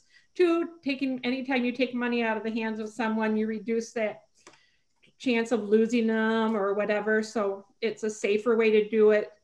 So I, that's one of my goals for this summer. Also fixed assets. The MIS system, our software, has a fixed asset module that we can enter all of those fixed assets that we have to keep track of, which would be anything that we buy that's in its on its own is worth five thousand dollars. Not not necessarily a computer, but Steve's new tractor we have to keep track of. And by putting this on in that module, it will keep track of depreciation and those sorts of things that I need for the audit. And currently we're doing that all on a spreadsheet. So that's something I intended to get to this year. And with COVID, it didn't happen. I was on track to get it done. And then with cross training, I would really like to get someone, and I've trained, I'm going to think I'm going to train Sue in accounts receivable and Becca in accounts payable. She's doing a lot of it already for food service. So that'll be an, easy transition for her to finish out that process, just to have that redundancy and cross training is never bad. So those are my three things that I'm hoping to do next year. And are there any questions? Yeah, I have a couple. Um, okay. So the, the online payment system, what you're really trying to do is get rid of any any cash movement you know, and try to get it so it's it's non-cash because, as you well know, cash disappears sometimes. But right. it's also going to make it easier if you have one type of system that you know, and anybody can, you know can pay the fees at school or pay for their you know pay for the meals or pay for a trip or something like that. It would be great to have one system that you can do all of that in. Absolutely. And Pay Schools is what I used in Suttons Bay, and I really liked it. It's online where you could just go to a web uh, icon on our website and it could say, you know, childcare tuition, it could say yearbooks, it could say anything like that. You just click on it and pay. That's great. And then in the fixed assets, you know, Steve's going to have to put a, a, barcode on his tractor at that point in time to keep track of where that thing is, probably, right? Probably. Mm-hmm. Um, and then what was I going to say? Um, oh, Leanne, on behalf of the Finance Committee, and I am speaking for myself, but I'm, I think I'm echoing Leah and Corey's comments. You've done a great job, and we appreciate the cooperation you've had with us to, you know, to, you know, because none of us do the job you do. We don't know the nuances, but you've been you've been great to work with to explain to us, you know, why why something is the way it is, and you know, what's that mean, and what's this mean, and where's that money, and and we we appreciate it very much. Thank you. I second that. You've done an amazing job, Leanne. Thank you. I feel like I understand some numbers. yeah, I actually still had a uh, finance committee meeting on my calendar today, and I was disappointed to not be able to see you guys. So soon enough, we'll be back talking money. Soon enough. Yeah. Thank you so much. Good job. Yeah, thank you, John and Leanne. This the the new budget, the way it's presented is a thousand times better than what we had before. I really appreciate that. Yes, yes, and yes. Great. Moving on to our, does anyone have anything else? Any other? Yeah, I, I wouldn't mind, I wouldn't mind saying something for a second here. You know, you're probably tired of hearing me talk, but you know, bear with me for another minute. Um, I really appreciate these these cabinet reports, and every six months, this is I, it's a lot of work. I like the different ways people present things, even Steve presenting his backwards and on one piece of paper. Um, but it really helps us to understand what everybody's doing. And this is really kudos to you, John. You have put together a team of people that are pros in their, you know, in, in their respective areas, and it's recognized by us. We, we really appreciate it.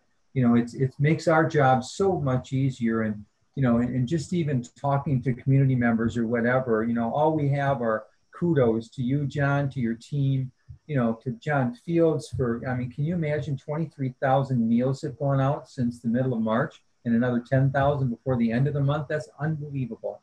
You know, out of, out of that kitchen. And, and what's, you know, what's on the positive side, John Fields, is that you have had a chance to work with your team with no outside, you know, hey, wait a minute, we've got to feed that person or that person. You've been able to focus on cooking and focus on preparation and focus on getting this stuff put together. You know, it's probably given you a chance to really tighten up your team and, and what they do well and you know and recognize that. I'm just guessing that just from just from the opportunity you probably have. And, and, as you notice john fields every time i see you i have questions for you about how you do different things. So someday i'd like to come into the kitchen and just you know and just be a grunt and maybe scrape dishes or something like that for a while just to watch how you guys work. I, I would really appreciate it.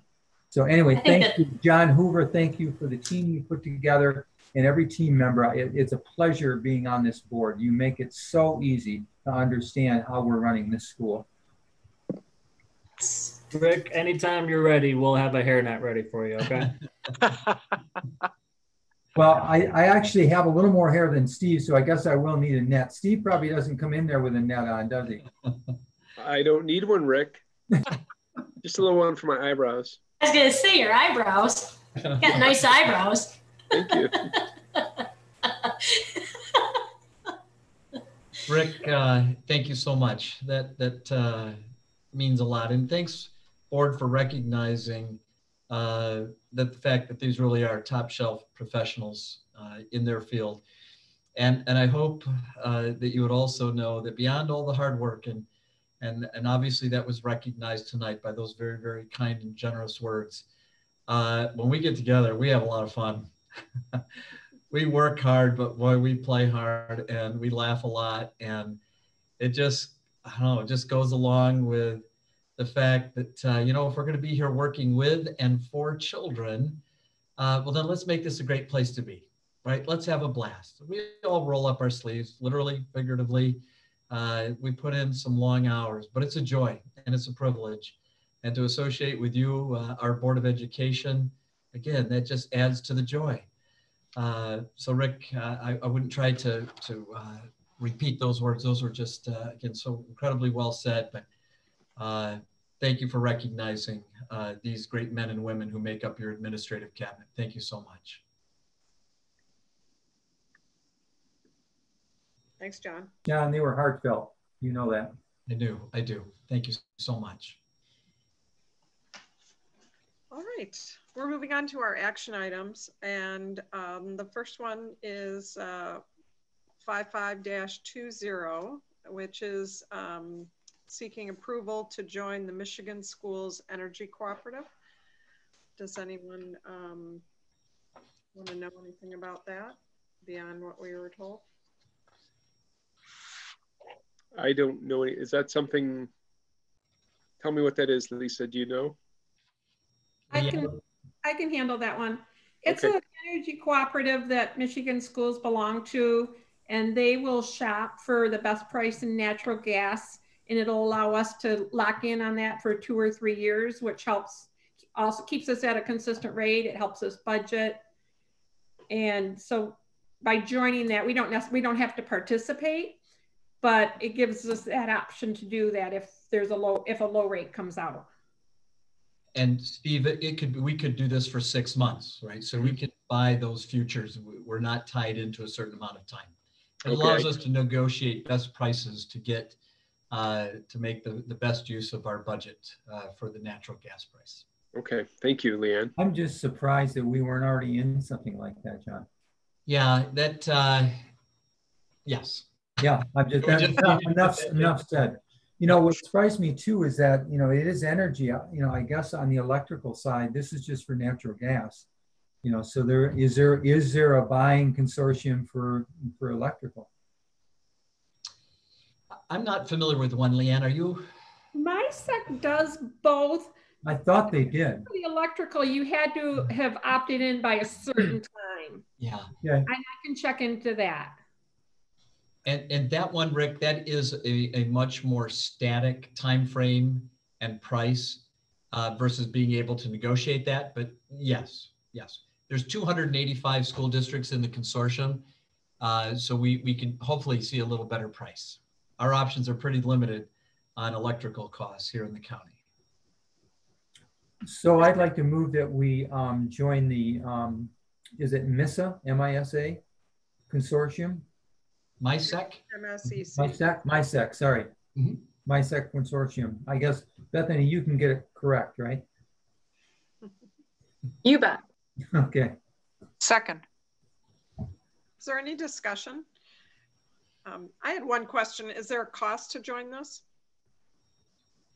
There's no cost to join. If we elect to purchase gas through them, they get a, and I don't remember the amount, it's a very minimal amount of what we buy. And that's just to cover their operating costs of the, of the, of the nonprofit. Right, it's a nonprofit, so it's just a very small amount. And it's an optional thing to participate. Yeah. Correct. One of those, I did read the whole document, by the way. So, but I can't regurgitate it all. Good for you, Rick. Nice job, Rick. Thumbs up. I only, I only, fell asleep, I only fell asleep four times, but I did read it. That was a big document, Rick. Holy. It was.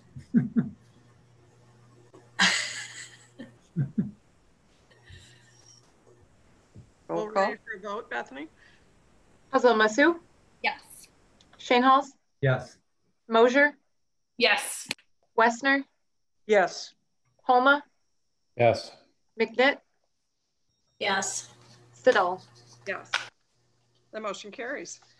Uh, Action item 5620 is the approval of the TBA ISD inter-district open enrollment policy for 2020 to 2023.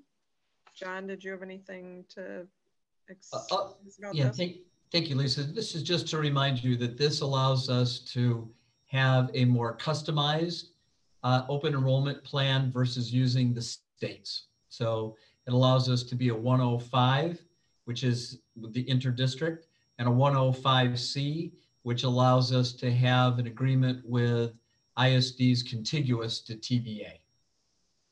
And traditionally, folks, we've been both a 105 and a 105C. And this is a, I think, a three-year agreement. It's renewed every three years.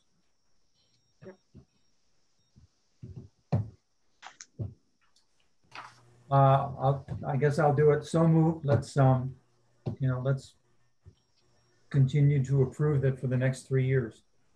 I'll second. Is there any discussion? Bethany, a roll call vote? Shane Halls, Yes. Mosier, Yes. Westner, Yes. Holma, Yes. McNitt, Yes.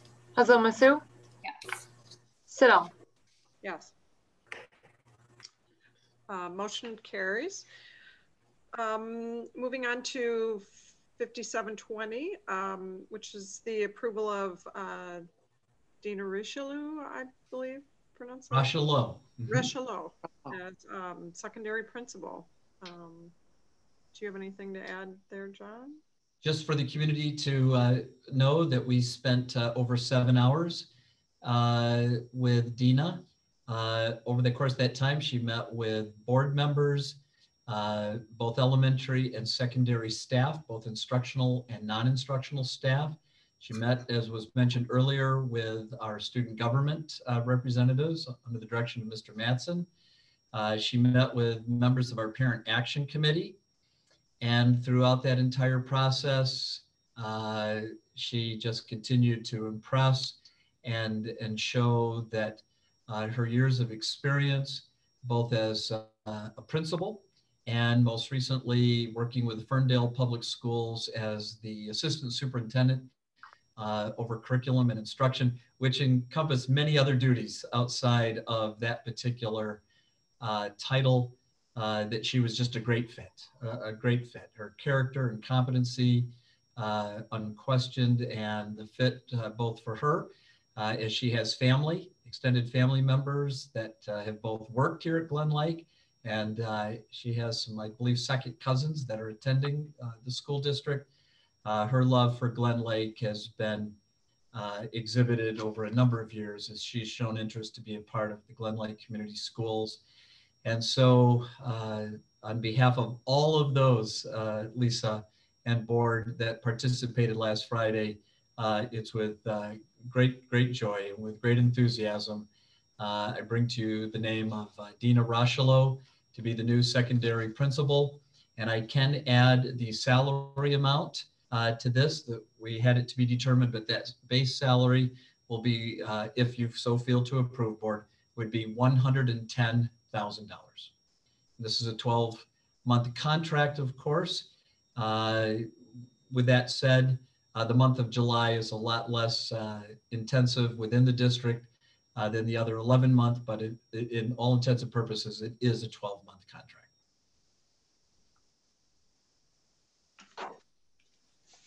We need a motion to approve this action item. I'd love to do it. Um, I would like to submit item 5720, the approval of Dina Rochelo as secondary principal. Second. Yeah. Did you second Leah? I missed it. Or was that Brooke? Yes, I did. Yeah. Okay, great. Uh, any discussion? All right, Bethany, a roll call vote, please. Mosher? Yes. Wessner? Yes. Homa? Yes. McNitt? Yes. Hazel Masu? Yes. Halls, Yes. Siddall? Yes. Um, I'd like to take this time to let the public know that after um, Brooke uh, gives her PAC uh, committee uh, report that will be um, open for public comment. Uh, so Brooke? Thank you. Yeah, so we had our final PAC meeting of the year. Um, it was our, uh, by far, the most productive year in PAC, I would say. And all thanks for that goes to John for um, really listening to the um, to the committee, um, taking its agenda items really seriously, and um, moving swiftly to address them. So that was really wonderful. Thank you, John. Um, so the meeting was spent, um, John updated us on lots of projects, of course. Um, you know, the three summer projects, bus garage, tennis, and Laker team rooms. Um, let us know that the high school gym is getting a new, uh, the gym floor is being redone, replacing the lights, so that'll be really fun to see in the fall. Um, he touched on the elementary park and playground. And if I understand, some of the preliminary work starts this summer. Some of like kind of the stuff that more infrastructure, you'll see something, but it's not like the really exciting stuff that's happening next summer, 2021. And uh, I can't wait. I mean, the park playground idea sounds really fantastic. And uh, let me see. Um, we spent considerable time, of course, talking um, about the what the fall could look like, but that's all speculation, um, which we acknowledged and understand that what's required of all of us is patience while we wait for the governor and her committee to um, let us know how how to proceed or how we can proceed and um, and it's just great to know, of course, that the school is working hard um, on plans, um, you know, on lots of different kinds of plans, depending on what's, you know, what's coming, what, what will be expected of us in the fall. So um, that was a, a good discussion. Um, which one of the things that came out of that was this idea that it could be really useful to have some community um, based childcare solution coming out of this if if we do have to work with a 50-50 sort of um, school year but so that was another interesting conversation. Uh, and then um, as mark said um, there's the uh, idea that some spring sports can actually happen. So kids who missed out on their spring sports season um, might be able to get back on the fields and practice and maybe even have some summer competition. Um, and John also mentioned the budget presentation that'll be coming up in two weeks. And once again, I'd just like to, um, you know, thank John for um, just the superior work on the budget um, and and also just on bringing everybody along you know just the education piece um, of of your cabinet of all of us um, so that now there's lots of brains focused on the budget and um, that's just you know really such a wonderful thing. And um, yeah, I guess I, I think that's um, that sums up our PAC. We don't plan to meet again until September, but um, anything could happen in this school year. So maybe there will be more meetings over the summer. Um, and then one other note, Marnie just texted a minute ago and was saying that next we need like an early childhood report to be given with some of these different reports, which would be really exciting too. So that's um that's my that's the meeting. Great, thank you, Brooke. Just a quick aside, um, she mentioned the governor's committee. I think I think there were 30 members on the committee that that, um, but it was a volunteer thing. So I actually put an application in to be on that on that committee, and I got a, a rejection letter or an email just the other day. Said 1,700 people applied to be on, you know, for those 30 spots on that committee. I noticed there was quite a few Northern Michigan. Lisa Peacock from, well, she's the head of Glen, uh, Leelanau, Benzie, Charlevoix. She was accepted. Wayne Schmidt, he was accepted. So we'll have some coverage for Northern Lower Michigan, which is great. That's awesome. You applied, Rick. Well, and that was that was my purpose. It's just you know let's try to represent something from the Leelanau Peninsula.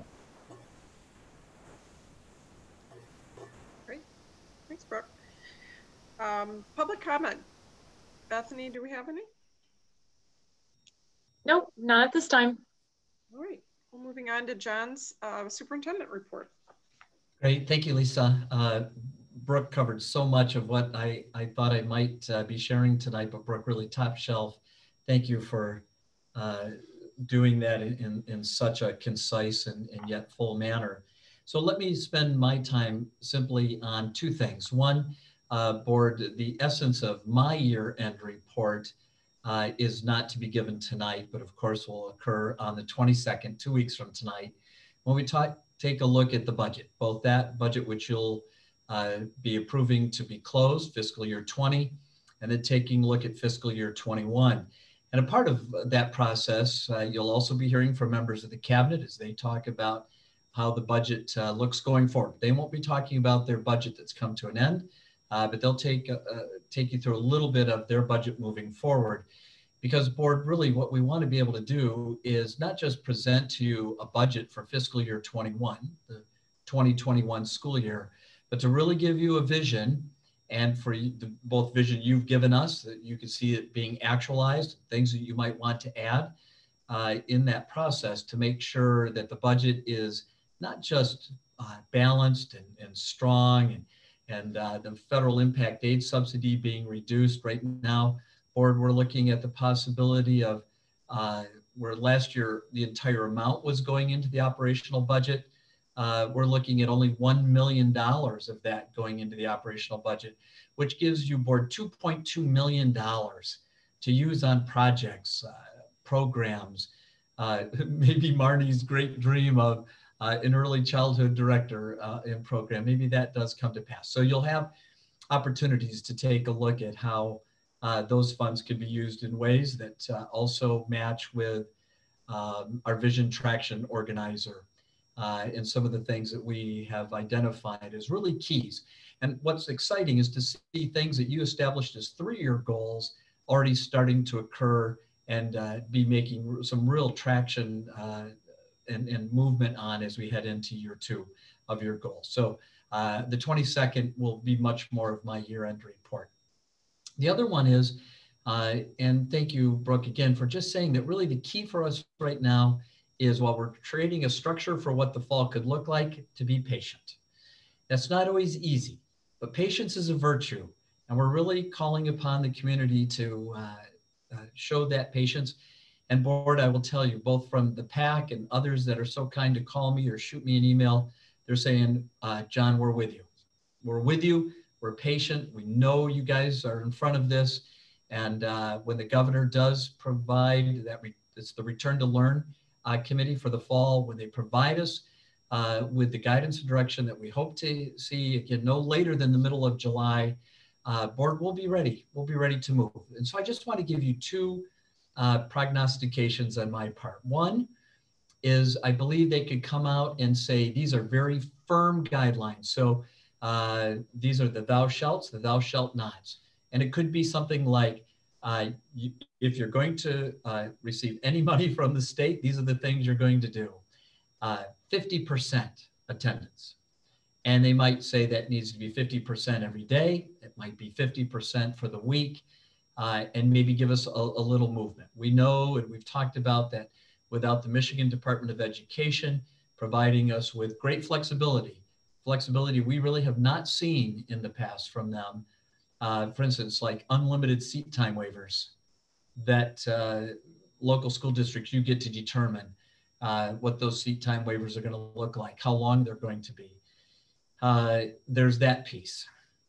So we're, we're expecting that, yep, if they say this is what you have to do, again, we're expecting 50%.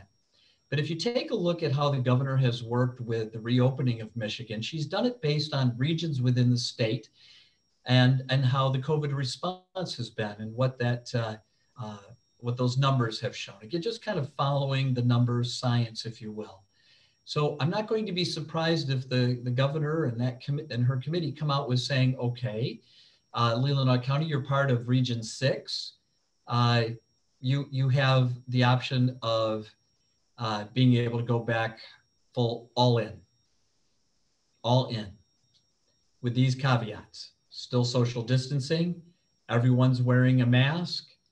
Um, but if you can figure out how to get everybody in and do the social distancing, Region Six, uh, you can go ahead and have everybody in.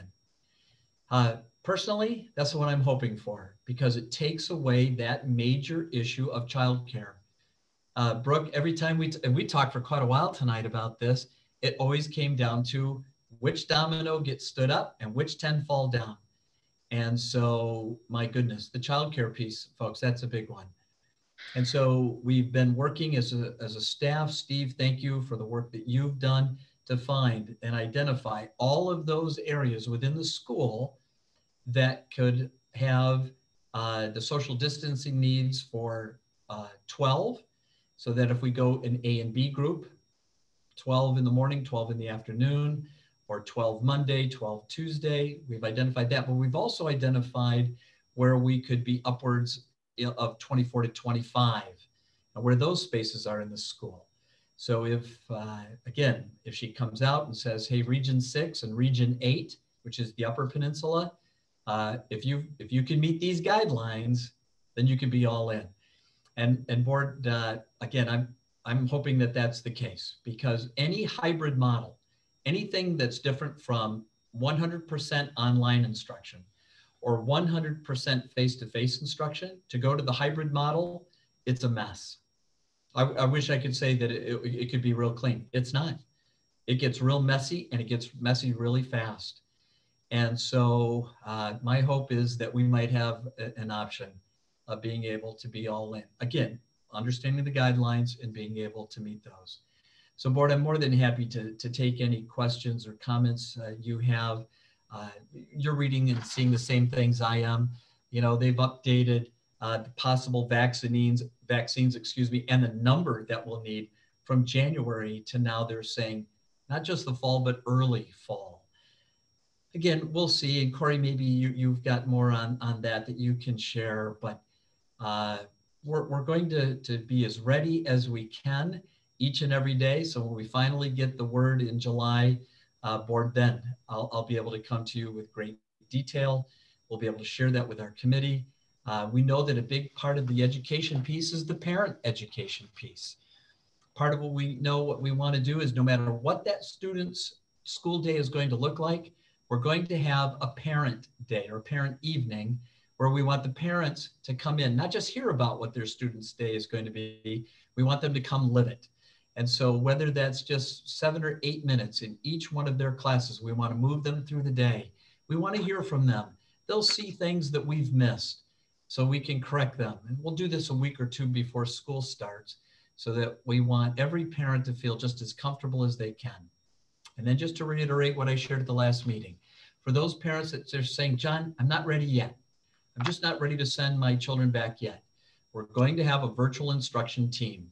So my teachers that teach face-to-face during the day do not have to worry about going home and uh, doing some type of online uh, instruction to, to students that eventually will, will come back into their class, but are home for a period of time. We'll have instructors that will be taking the classroom instruction, uh, the materials that are being covered that will be uh, moved out to our, our students still at home. And those uh, virtual instruction team uh, leaders, if you will, uh, they'll take care of that and make sure those young people are getting everything they need. So we've built a framework. We're waiting for the information to come in. We'll put the details in place. And board, I feel very confident that Glen Lake will be absolutely ready, both in the areas of transportation, uh, within the sanitizing and cleaning of classrooms in the building. Steve, you talked about all the key touch points. The instructional model will be in place and ready to go. And uh, we'll have our teachers safe, our students will be safe. And uh, again, with the guidance, and, and, I spent time with Michelle Klein today at the health department. She's been wonderful to work with. Ashley Karszewski, our uh, school nurse. Corey is just invaluable. Uh, folks, we're, we're going to be ready to go on September 8th. No matter what that model looks like, we'll be ready. But again, I'm, I'm really hoping it'll be an all-in model uh, with guidelines being followed that will allow us to have all of our young people back in place and not put a child care burden on our families that I'm very anxious about. I am very worried about what that could mean to our families economically uh, or families that might not be able to where we're sending children home uh, with, without adults there right away and um, maybe putting some of that on a on a high school student or a middle school student that's trying to go home and get their schoolwork done while trying to watch a, a second year, a second grade uh, sibling. So with that, what questions can I address for you to the best of my ability tonight? Great, John. Thank you. John, um, I've been a, I've been a little surprised in in our business at Share Republic. Um, we've had a we've had a, a fair number of people who just uh, you know they either are a little bit older and feel like they're at risk, um, or you know, uh, obviously it's not something you discuss openly, but you know they may have a, a health issue um, that they feel that they're at higher risk uh, themselves to be in a, a, high density social situation, you know, like like a workplace. Um, you know, I, I, say this just as a as a as more of a cautionary thing regarding staff. Uh, you know, we, we tend to focus and think a lot about the kids, and and of course that's where our hearts go first. But our staff, uh, I am concerned about staff and um, you know the potential to have some staff that don't feel comfortable returning uh, when we get there. I know in my experience, right up sometimes, unfortunately, right up till the day they're going to start, uh, they they feel like they're going to come, but then when the morning comes to, to come into work, they feel like they can't they can't do it. Um, and I and I say that only as a thought a thought starter in terms of how conversations um, with the staff go along the same lines because the, the parents and the kids are, are one part of it, but the um, giving the staff an opportunity to really talk about whether or not they're they're going to be comfortable based on the governor's you know if she if if we are given the idea of it's an all go ahead that that may or may not work for some people too. So i, I just bring that up as something to to think about in a in thinking about how how you move ahead through the course of the summer. And i'm not asking for anything from you or response. No no and that's kind. We we have had that conversation with our staff. And right now jason we have two of our classroom teachers that are in that uh, frame of mind right now. And so they're saying, hey, John, can we help drive lead, be a part of the virtual instruction team? And of course, our answer to them is of course, absolutely. So thanks, Jason. I went right past me. I needed to share that. Thanks for bringing that up. I know at my um, profession, there has been, it's hard to even staff on a weekly basis. But currently, our um, zone has gotten uh, quite a bit of leeway.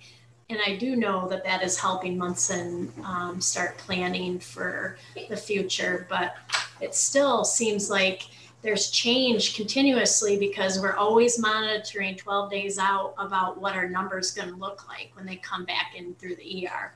And that's really the only way that we can measure where the virus is because the virus isn't going away and there's not adequate testing at the moment, really. I mean, there is, but not enough.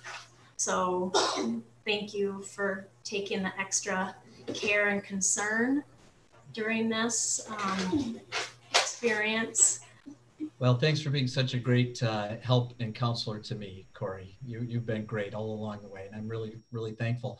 One of the things, Board, I would share with you is uh, one of my concerns is substitute teachers. So part of our virtual instruction team are substitute teachers that we want to pay to just stay with Glen Lake. Now, right now, we're just focused on those that already live in the district and really are our primary subs anyways because the risk is you have a sub that was in this school district on Monday, that school district on Tuesday, they come to you on Wednesday. Uh, our goal, we want to have a cadre of subs that's ours. They're here. We know uh, their, their status. And uh, I don't know, I'm, does that make sense? Yes. I think that's a great idea. Well, okay. So they're part of the virtual instruction team, but also our daytime subs. So that's mm-hmm. good for them it means consistency. Uh, they'll make a few more dollars. Yay, I'm all for that for them. Uh, and I think it protects us, Corey, uh, from any unconscious community spread if another school district has uh, a symptomatic uh, COVID case. It's very proactive. So, okay. Mm-hmm. Well, John, I want to make one quick comment just of praise that um, the letter you sent out dealing with the other you know world events, the um, tragic um, killing of George Floyd, and the impact that that has on students and their questions and their concerns. I don't know when I've read a more sensitive and um, I don't know, just uh, character rich. Somebody help me with words, but it was um, a lovely, lovely message to all of us. And I'm very, very grateful. Thank you. Lisa, that's my report for tonight. Thank you, John. Thank you. Um, Bethany, I don't think we had any board correspondence. Is that correct? Nothing. That's new. correct. Okay. Um, we're announcing our future meetings. Uh, we have a budget hearing on June 22nd at 6 o'clock. And we have um, our next regular meeting on July 13th at 6 o'clock. Um, we're moving on to the last um, portion of the meeting where we can bring up subjects for future discussion um, or items of interest. And this is the time for anyone who has any ideas or something that they'd like discussed to bring it up so we can add it to next the next agenda. I just I just wanted to um, actually say thank you to Mark and to Stephanie for the senior stuff. Um, this as you know the senior recognition really been fantastic, fantastic, um, and the um, social media stuff, I can see that being something that continues on. It's been so much fun to read these every day and like know what's happening with the kids. And um, the senior drive was so much fun. The the bag that you delivered was, you know, just full of great stuff. And Um, so I, I think you've just done a really fantastic job of celebrating these kids. And you, you, so thank you. Yes, Thank you, Brooke. It's probably been more fun designing and ordering and just knowing that it's going to go to that everything we've done. It's just to benefit and put a smile on the faces of those kids. So uh, with the team of staff that we've had surrounding us, um, we appreciate you recognizing that. But uh, truly, so much fun to be a part of. Thanks. I, I agree. Thank you.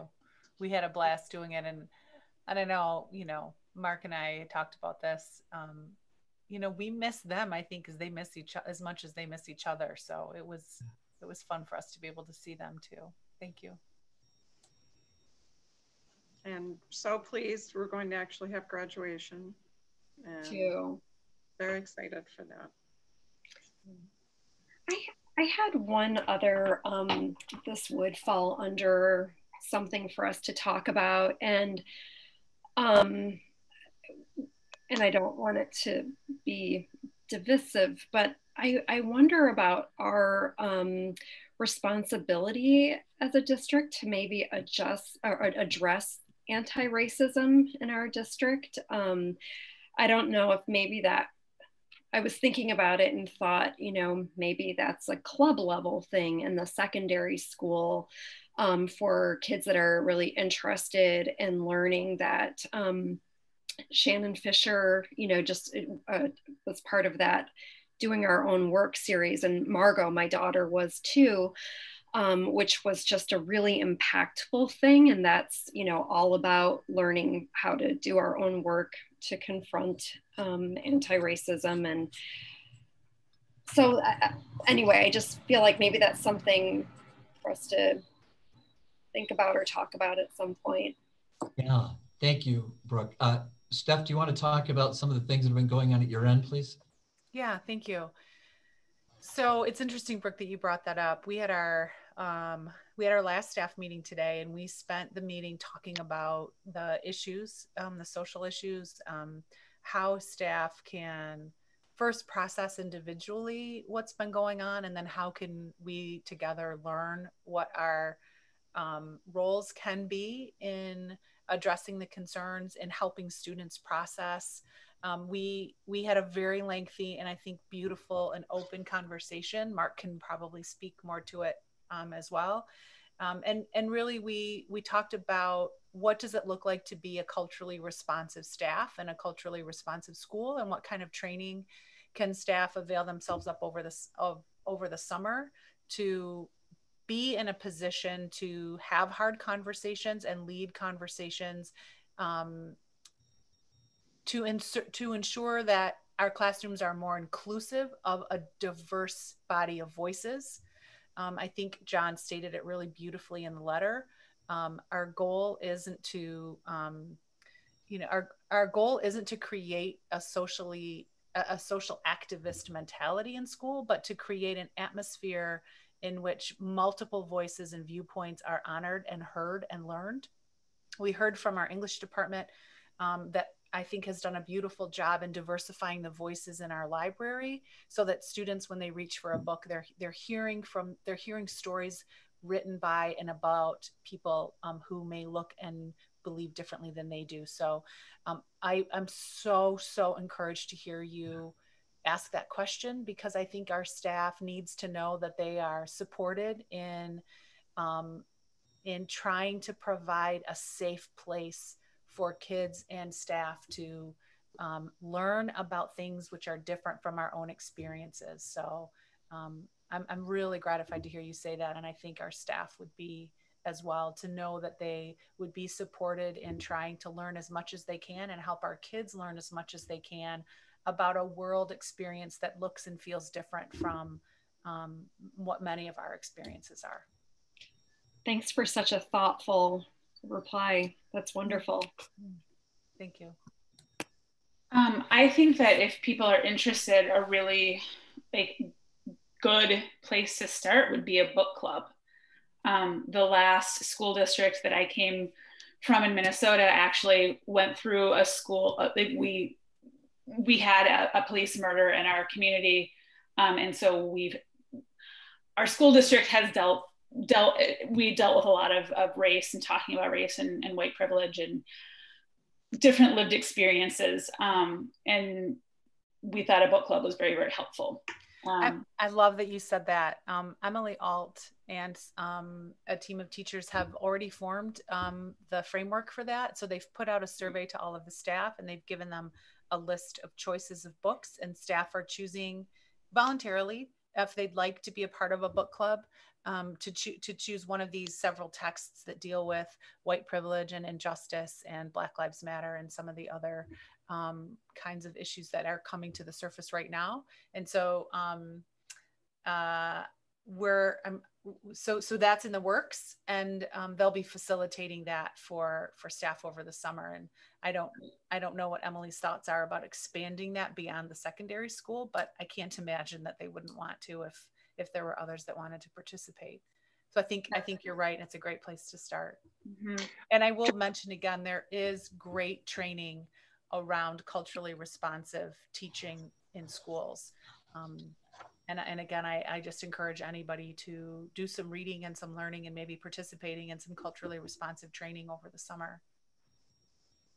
This goes way back, but I was in a book club when I was at a private school in Cincinnati, and they used a national organizational uh, organization seeking seeking equi- educational equity and diversity, and um, you went to uh, somewhere in uh, California, got very very rich training, and our leader came back and worked with faculty with the thinking that if faculty were all exposed to more rich readings, films, you know, we we always had dinner together.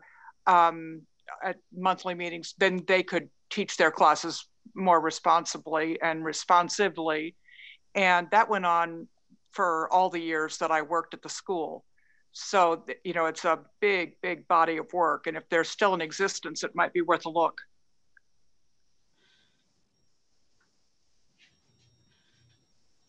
Thanks, Jenna.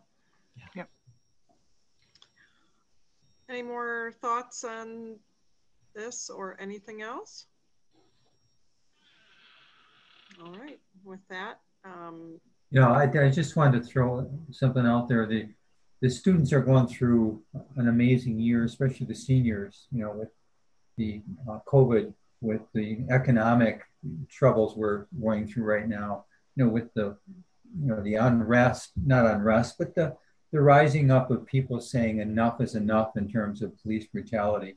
And a lot of times I see comparisons to 1968.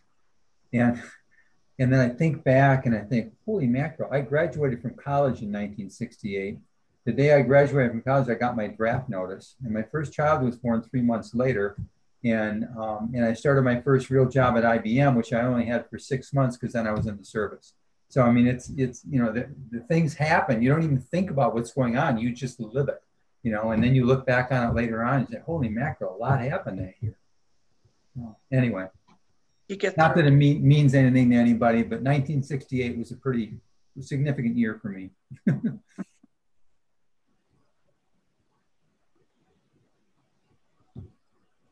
Thank you. Rick?